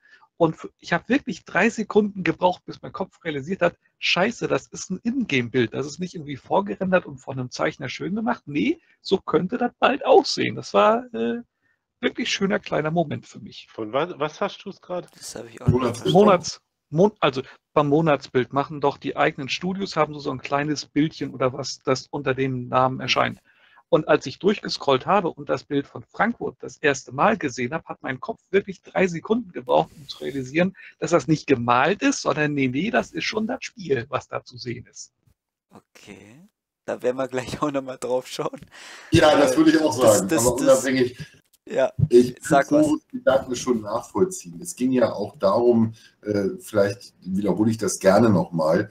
Äh, wie gesagt, ich habe eben lange Zeit nicht viel gespielt. Jetzt habe ich gute 40 Stunden in der letzten Woche investiert. Wie gesagt, das ist eine Arbeitswoche, weil ich das gerade mal konnte. Und ich hatte wirklich Aha-Momente. Es gab mal jemanden, der hat gesagt, ich musste eine Träne verdrücken, als ich 3.0 hatte und das erste Mal den Sonnenaufgang gesehen habe. Ich will nur so sagen, wenn ich irgendwie auf dem Mond bin, durch die Gegend laufe und drehe mich um und sehe irgendwie in zwei Kilometer Entfernung irgendwo die Biklema immer noch und denke, ach nee, das ist ja gar kein Berg, das ist das Raumschiff, habe ich mich gefreut. So doof, wie sich das vielleicht jetzt anhört. Einige werden das vielleicht nicht nachvollziehen können, aber das sind die Momente, vielleicht wird es deutlicher. Ich weiß noch, wie äh, Jesse das Thema angesprochen hat, als wir den Trailer von der Aquila hatten mit diesen Fußstapfen, diesen Werbetrailer. Kannst du dich vielleicht noch erinnern mit diesen Außerirdischen ja, ja, Und da haben Raum mir, glaube ich, gesagt, stellt euch mal vor, man könnte auf so Planeten landen und das sähe genauso aus. und da habe ich mir gerade überlegt, als ich die Reclaimer dann so von zwei Kilometern, ich sage, ähm, ja, das habe ich jetzt ja gerade. Also es geht auch so mal um die Wertschätzung, was sich da verändert hat, wo wir damals von Fantasien gesprochen haben, wie wäre das? Gut, natürlich waren da die, äh, sage ich mal, die, die Vegetation beziehungsweise die, die Lebewesen noch, sind noch nicht vorhanden, aber man muss mal realisieren, der Werbetrailer von langer, langer Zeit von der der ist jetzt schon, Anführungsstriche, Realität. Also in der Hinsicht ist, hat sich da was getan. Und damals kann ich mich noch sehr gut an diese Diskussion erinnern, dass wir gesagt haben, das wäre doch mal was, wenn das wirklich möglich wäre. Es ist möglich, jetzt schon. Ja, gute, gute Beobachtung. So, also, was haben wir hier noch? Uh, remotely operated turrets, also die ähm, Geschütztürme sind äh, aus dem Cockpit dann wahrscheinlich, aus dem Pilotensitz äh, steuerbar was jetzt sicherlich, also es sind nur zwei Tasks, würde ich jetzt auch sagen, das ist eher was ähm, einfacheres. Äh, und dann haben wir die ähm, bemannten Geschütztürme auf den Fahrzeugen. Das ist noch nicht angefangen, steht auch noch nichts weiter da. Äh, das Item Kiosk Shopping, das haben wir ja vorhin schon gesehen. In der, in, in der ersten Version ähm, ja, 5 von 10 Tasks sind da fertig. Was haben wir noch? Persistence Improvements. Das, äh, da haben wir heute auch drüber gesprochen. Äh, da wird es immer wieder Verbesserungen geben. Das ist auch, glaube ich, in den restlichen Quartalen dann auch drin, in, den, in 3.3 und 3.4. Äh, die PMA, VMA Improvements haben wir vorhin auch gesehen im Video. Und äh, was haben wir noch? Escort Beacons. Äh, da ähm, ist in Development, aber so nur der eine Task. Da werden es wahrscheinlich noch mehr Tasks werden. Am Ende würde ich mal vermuten. Was haben wir dann noch? Äh, Combat-Verbesserungen für FPS und fürs, fürs Fliegen. Die Schiffe, da wird sich wahrscheinlich nichts verändert haben. Das sind immer noch die gleichen äh, Waffen und äh, Items. Da brauchen wir, glaube ich, nicht drauf gucken. Und dann bei Core Tech haben wir die Performance-Optimierungen natürlich und das äh, Bind Culling, aber da haben wir ja schon oft drüber gesprochen. Also aus dem, was ich jetzt gesehen habe, würde ich jetzt sagen, hat sich nichts, nicht viel verändert, oder? Bei 3.3 äh, muss ich reingucken. Bei 3.2 habe ich jetzt nichts Neues gesehen. Ähm, äh, du sagst, bei 3.3 hat sich was verändert? Also sind ja. Sachen und, äh, ich habe auch vorhin noch kurz reingeguckt, aber da hat sich ein bisschen was äh, von der Form, glaube ich, haben sie ein bisschen bei Core-Tech haben sie sehr, wenn ich das so im ersten Moment richtig gesehen habe, sehr aufgeschlüsselt. Mhm. Also gerade das Objekt-Container-Streaming haben sie da irgendwie in mehrere Punkte äh, Ah, okay. Ja. Ich sehe es. Also wir haben Object Container Streaming, Game Object Extensions Conversion. Conversion to improve performance. Okay, das, da kann man jetzt, glaube ich, nur spekulieren, was das sein soll. Jetzt das asynchrone Background Spawning, das wissen wir, was das, das ist. Das ist. Das ist ziemlich klar, was es ist. Background Spawning. Ja, also ich sag mal, die, die beiden, da kann man sich gut was drunter vorstellen. Ähm, also ich habe keine Idee, was das sein soll. Äh, was jetzt bei das was Nee, wo du selber gerade sagtest, nein, nein, das, was du. Das erste, das erste ja. ist. So geschrieben, dass man sich freut, dass ein Balken nach vorne geht. Genau. Ja, genau. Also, da wüsste ich jetzt nicht. Also, Game Object. Wo ich nicht verstehe, das Asynchrone und das Background Streaming, das ist zwei Punkte. Einmal Asynchron Background und einmal normal Background Streaming, das ist zwei unterschiedliche Punkte. So rework the game systems to move more spawning to the background to reduce stalls. Okay. Also, das, das hört sich relativ logisch an. Man will Spawn von Objekten auf die Background-Jobs äh, verteilen, um halt den Hauptthread nicht immer beim Spawn ähm, äh, ja, anhalten zu müssen. Weil das Wo ich da nicht verstehe, dass sie die so, Punkte auseinandergenommen haben. Weil untere, das was heißt das untere jetzt? Allow entities to spawn from background threads without introducing, introducing stalls. Also das ist sozusagen, das obere ist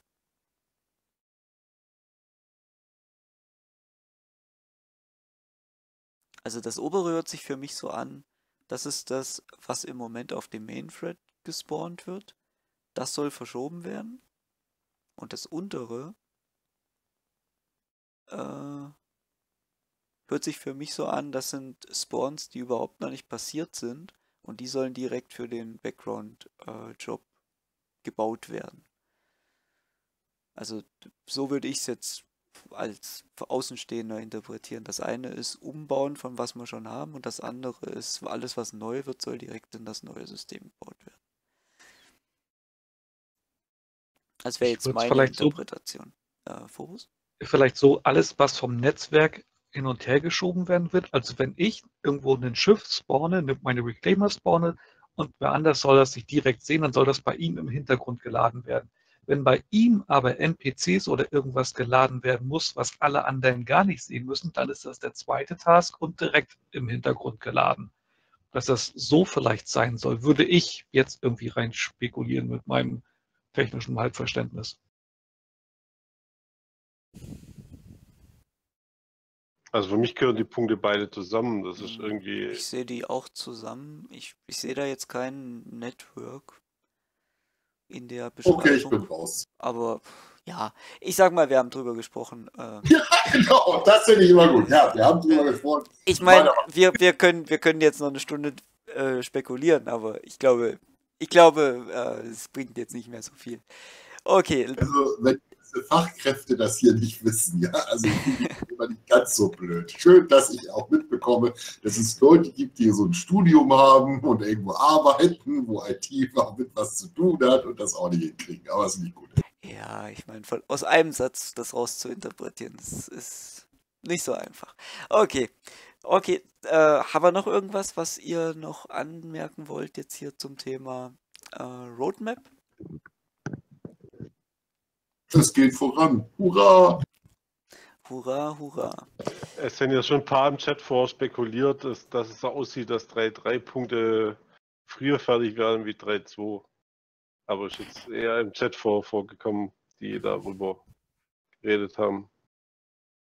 Also, ich, doch, es gibt einen Punkt, den ich noch anmerken muss. Ich finde es total toll, dass ich gerade Kontakt habe mit zwei Menschen, die bei Star Citizen neu dazugekommen sind und die irgendwie zur Kenntnis nehmen, oh, PTU, neuer Patch, finde ich ja interessant, da passiert ja was. Und ich sehe einfach, dass diese Leute neu, Anführungsstriche, Oktober haben die letztes Jahr irgendwie sich mit diesem Thema mal beschäftigt und haben sich entschieden, da auch erstmal so ein Grundpaket zu kaufen, egal. Aber die freuen sich alleine darüber, dass es eine PTU gibt, wo täglich ein neuer Patch kommt. Die haben auch Zugang dazu. Also es ist kein kleiner Kreis mehr, der das testet, sondern es haben alle Zugriff darauf. Das finde ich schon mal super. Das liegt aber daran, weil es nur Hotfix-Packs sind. Ja, wie auch immer. Freut mich einfach und sie tun was und man sieht, sie arbeiten dran und man sieht Verbesserungen und es gibt auch Rückschritte und wenn natürlich Sprüche fallen, das Einzige, was äh, wo ähm, sozusagen die äh, Persistenz da ist, sind die Bugs, aber egal. Ähm, ich finde es einfach nur gut und ich kann nur sagen, wenn die das wirklich mit diesen drei Monatszyklen einhalten können und auch die Evocati-Phase deutlich verkürzen, alles hat seine Berechtigung, aber ich bin einfach der Meinung, dass ich auch bei diesen Hotfixes es gut finde, wenn viele Leute Zugriff haben, weil das Download-Argument von Traffic kann kein Argument mehr sein, seitdem wir den Patcher haben. Ähm, es gibt viele Dinge, die finde ich toll und ich würde mich freuen, wenn es in diesen Schritten so weitergeht, auch was die Pünktlichkeit angeht, auch wenn es verbuggt ist, wie auch immer. Ähm, ich freue mich einfach. Ich denke aber, mit dem Drei-Monats-Rhythmus sind sie an der Grenze von dem, was sie unter ja, halbwegs eigentlich in Wartung haben können, weil ich meine, wir überlegen davon, wir sind 3.1 ist jetzt fünf Wochen her und wir reden noch davon, dass es nachgepatcht wird und in acht Wochen kommt ja schon wieder der nächste Patch. Also was es mal vor anderthalb Jahren geben sollte mit, ja, jeden Monat kommt da was, das ist eigentlich technisch nicht unterstützbar. Oder da, da verbrennt man halt die Leute bei. Also da jetzt mit diesem Drei-Monats-Patch gebe ich dir vollkommen recht, bin ich auch sehr glücklich drüber. Ich würde mich aber auch freuen, wenn es nur Hotfixes sind, dass sie eben eine PTU machen, wenn sie wieder ein Bild haben und wenn sie Anführungsstriche, das ist natürlich Blödsinn, wenn ich sage, sie tun so, als ob sie was tun, aber ich würde mich zwar manchmal auch freuen, wenn Sie mal ein Update bringen würden, wenn Sie auf Serverseite was tun, weil es gibt ja genug Patches, die Sie einspielen. Das kriegen wir ja auf Client-Seite, also als Anwender gar nicht mit. Das wäre auch manchmal sinnig, dass man sich orientieren kann. Oh, Sie haben einen neuen Patch auf dem Server eingespielt, deswegen stürzt mein Raumschiff nicht mehr so ab. Also mittlerweile habe ich so manchmal das Problem, dass ich aktuell gar nicht mehr weiß, ist der Bug jetzt gefixt worden auf der Serverseite oder auf der Klientenseite. Gut, das ist jetzt wieder das typische Kommunikationsding. Man kann vielleicht nicht zu viel erwarten, würde mich freuen, wenn sich da auch noch mal was tut. Grundsätzlich kann ich nur sagen, mir gefallen viele Entwicklungen seit Januar sehr, sehr gut. Und ich würde mich eben auch freuen, wenn Sie wie gesagt, die Evocati-Phase ist super, aber ich glaube, umso mehr Spieler das Ganze testen, umso besser ist es, weil wir, wie gesagt, das Grundgerüst haben. Und ähm, ja, ich wiederhole mich jetzt. Jo. Also, Evocati, wir haben es ja, also es sind wirklich genau acht Wochen äh, noch bis äh, Anfang Juli, also bis Ende des zweiten Quartals. Und das heißt, äh, so vier, fünf Wochen wird es noch dauern und dann wird man sicherlich irgendwo in Richtung Evocati dann wieder gehen. Und äh, das würde dann halt äh, entsprechend drei oder vier Wochen sein. Und ich wollte auch nur sagen, nee, 14 Tage reichen, weil ich glaube, bei 3.0 war es gut und richtig, dass sie so lange war. Mittlerweile bin ich eher ein Fan dafür, dass sie sogar nicht, dass sie es doch, dass sie es schon deutlich verkürzen. Also nicht, dass ich damit sagen möchte, dass die Evocatis eigentlich jetzt arbeitslos werden. Und ich bin auch der Meinung, nur ähm, das Grundgerüst, wie gesagt, ist da. Und ich glaube, sie tun sich selber einen Gefallen, wenn sie gewisse Tests machen, ähm, Anführungsstriche oben in geschlossenen Gruppen. Aber wenn die Evocati-Phase in Zukunft noch zehn Tage dauert, dann ist es so. Und der Rest sollte danach ziemlich schnell Zugriff darauf bekommen.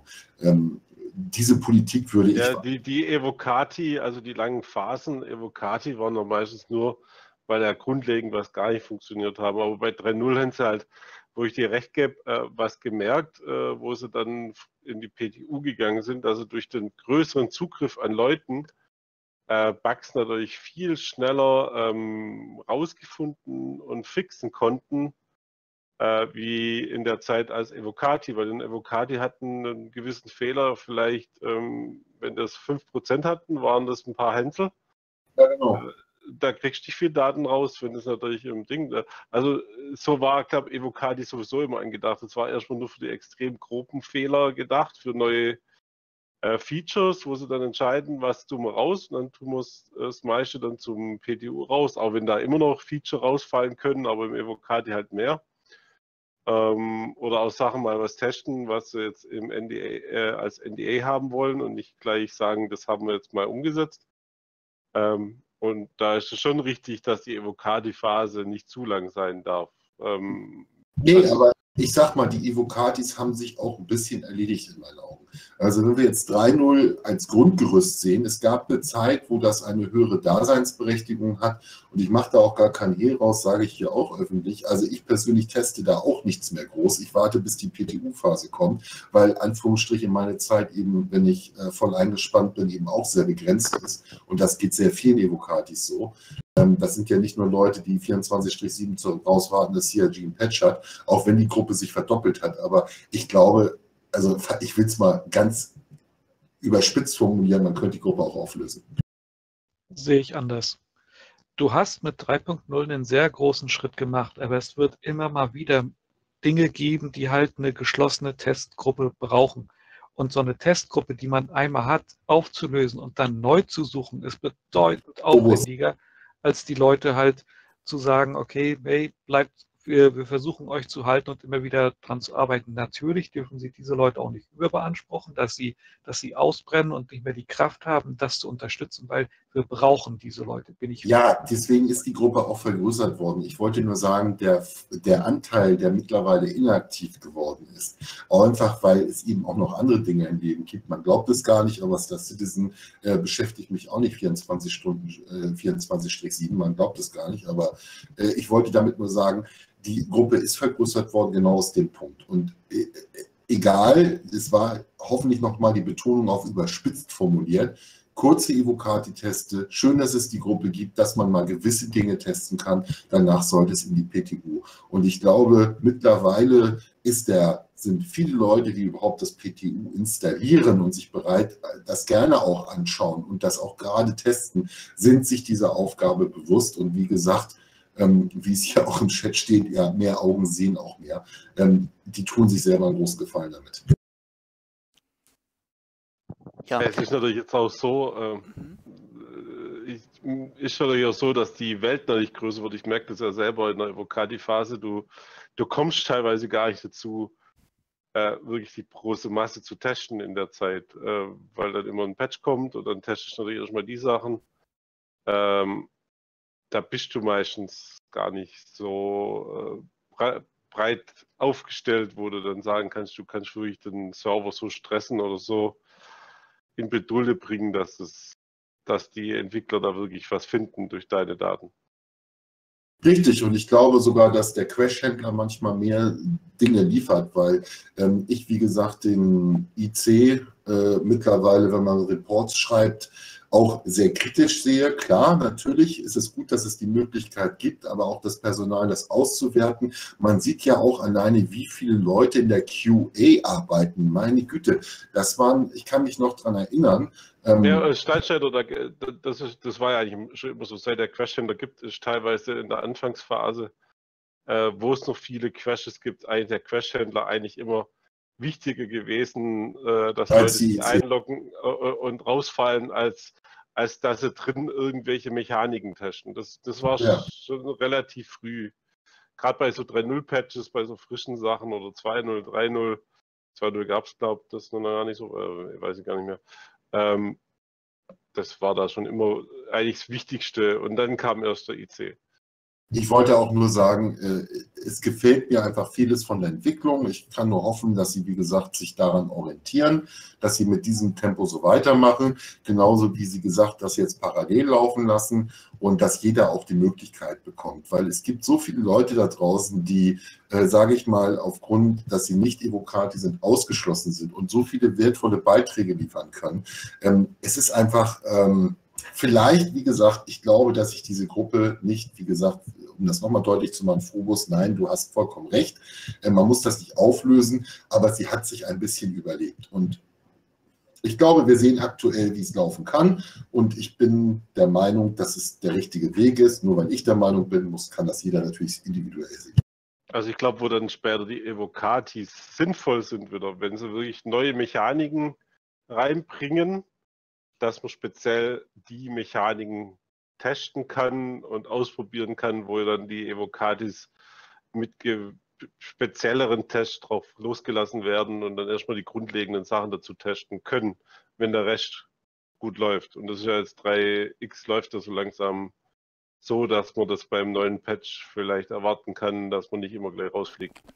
Das und dann, und dann so wie du es jetzt sagst, würde ja dann auch automatisch die Testphase der Evocati nur ein paar Tage äh, beinhalten, weil es ja nur um diesen speziellen Test geht.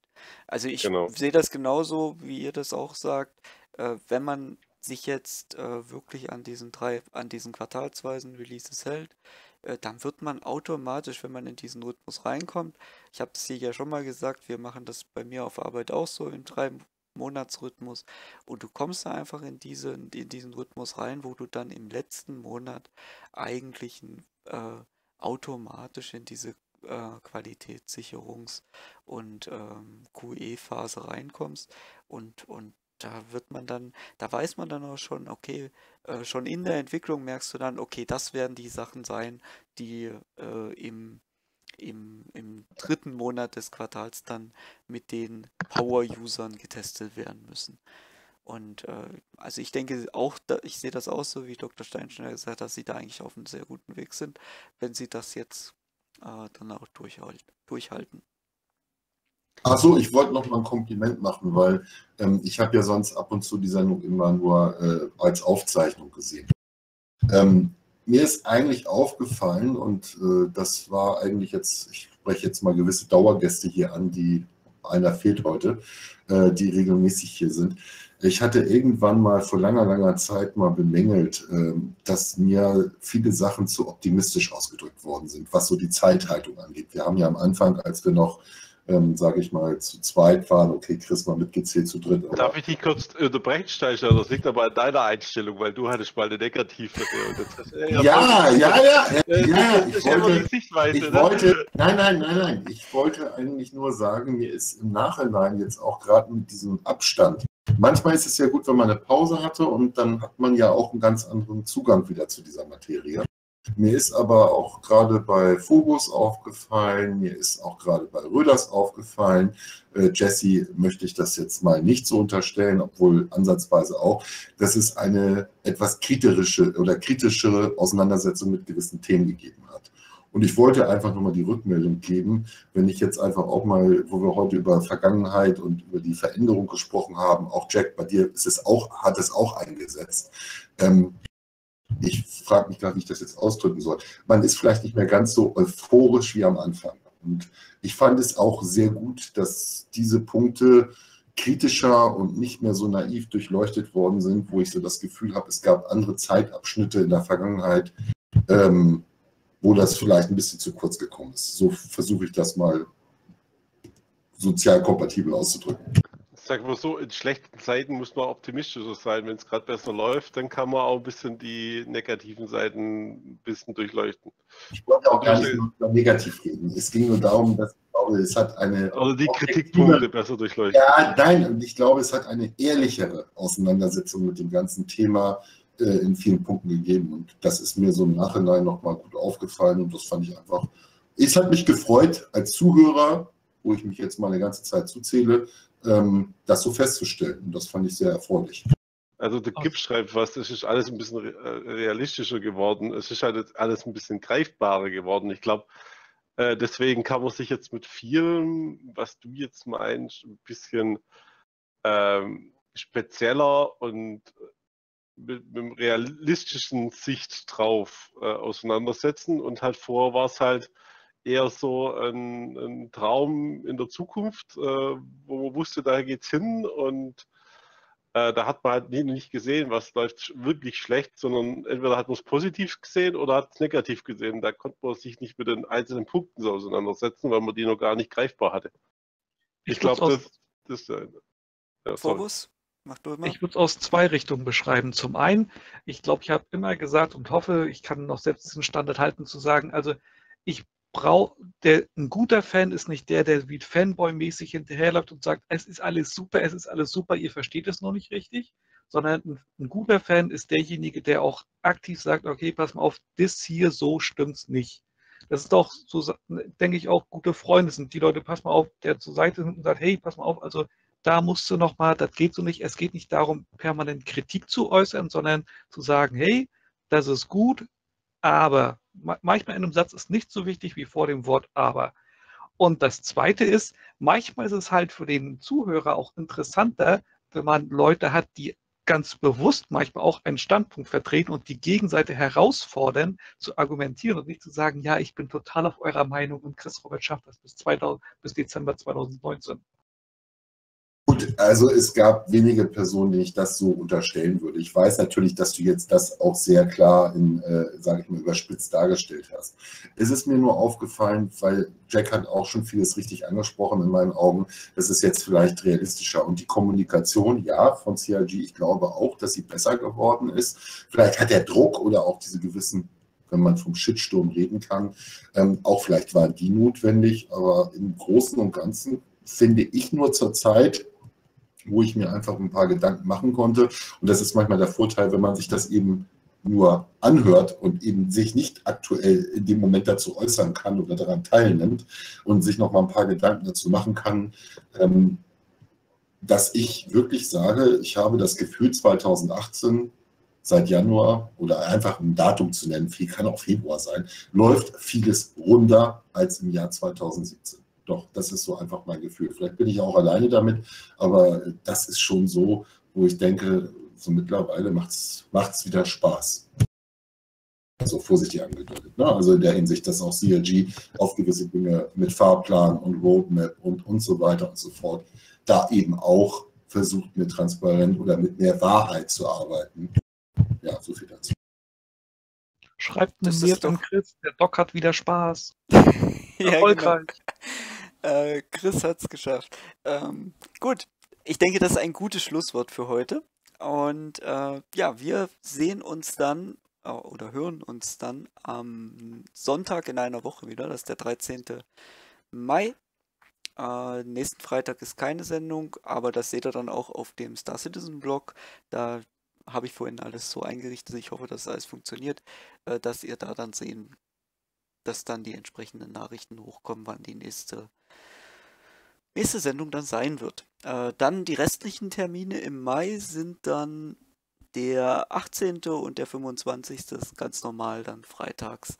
Ähm, da wären wir ganz normal. Und die letzte Woche im Mai, äh, das ist dann, da ist, der wäre der Freitag, der 1. Juni. Äh, da werden wir wahrscheinlich auf den 3. Juni äh, springen, auf den Sonntag, aber das sage ich euch dann noch. Also beim nächsten Mal äh, dann am Sonntag. Und ja, ansonsten natürlich, äh, Röders haben wir gerade schon gesagt, äh, der ist dann wieder am Dienstag für euch, 20.15 Uhr äh, dabei. Äh, der konnte heute leider nicht. Und ja, Jack, bei dir machst du jetzt noch weiter oder? Nee, ich mache heute. Du machst heute nichts mehr. Äh, sonst noch irgendjemand einen Stream anzukündigen oder irgendwo darauf hinzuweisen auf jemand anders, der irgendwas streamt oder Videos macht? Ich sag nur Monatsreport. Monatsreport, ja. Ähm, lohnt Der sich. ist draußen, schöne der, Infos zum Reingucken. Genau, schön zum Angucken. Äh, haben wir jetzt nicht, weil das habe ich vor der Sendung einfach nicht geschafft, äh, da nochmal reinzuschauen. Äh, du wolltest ja noch das Bild von Phobos zeigen, ne? Phobos, also jetzt doch, so neugierig bin ich noch. Wo hattest so, du das ja. Gefühl, das war Ingame? Sorry.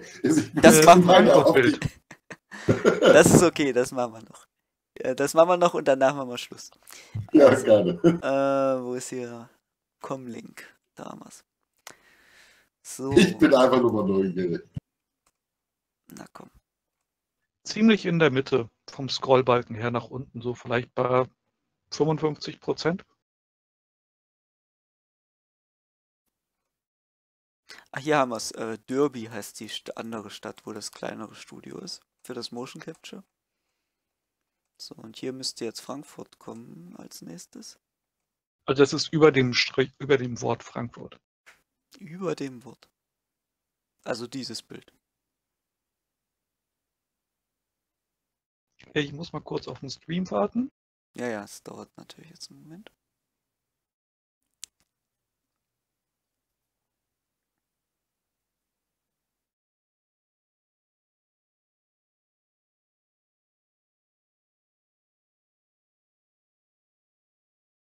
Ja, das Bild von der Planetenoberfläche. Aber ich gebe dir recht, das ist schon ziemlich. Also, wenn man einfach nur mal rüber scrollt. Ja, äh, ehrlich, ja ich gebe dir recht. Ich, ich sehe so drei Sekunden. Scheiße, das ist, das ist Game-Grafik. ja, aber ich gebe dir recht. Ich würde lügen, wenn ich jetzt sage, ich kann es nicht nachvollziehen. Gerade wenn du sagst, du scrollst mal eben rüber. Es ist Blödsinn, wenn ich jetzt sage, das sieht man doch. Also ich, ja, genau. Also im ersten Moment, so beim Scrollen, habe ich auch erst gedacht, okay, ist das jetzt echt oder, also ja, aber dann so, so, wie du gesagt hast, so ein, zwei Sekunden und dann merkst du es, ah nee, es ist, es ist doch ein Ingame. Ja. Aber es ist doch toll, dass wir solche Phänomene beobachten können und das freut mich. Wir sind, wie gesagt, auf einem guten Weg. Alles klar. So, das war's für heute. Ähm, ja, wie gesagt, bis nächsten Sonntag und dann schönes Wochenende. Macht's gut. Bye, bye.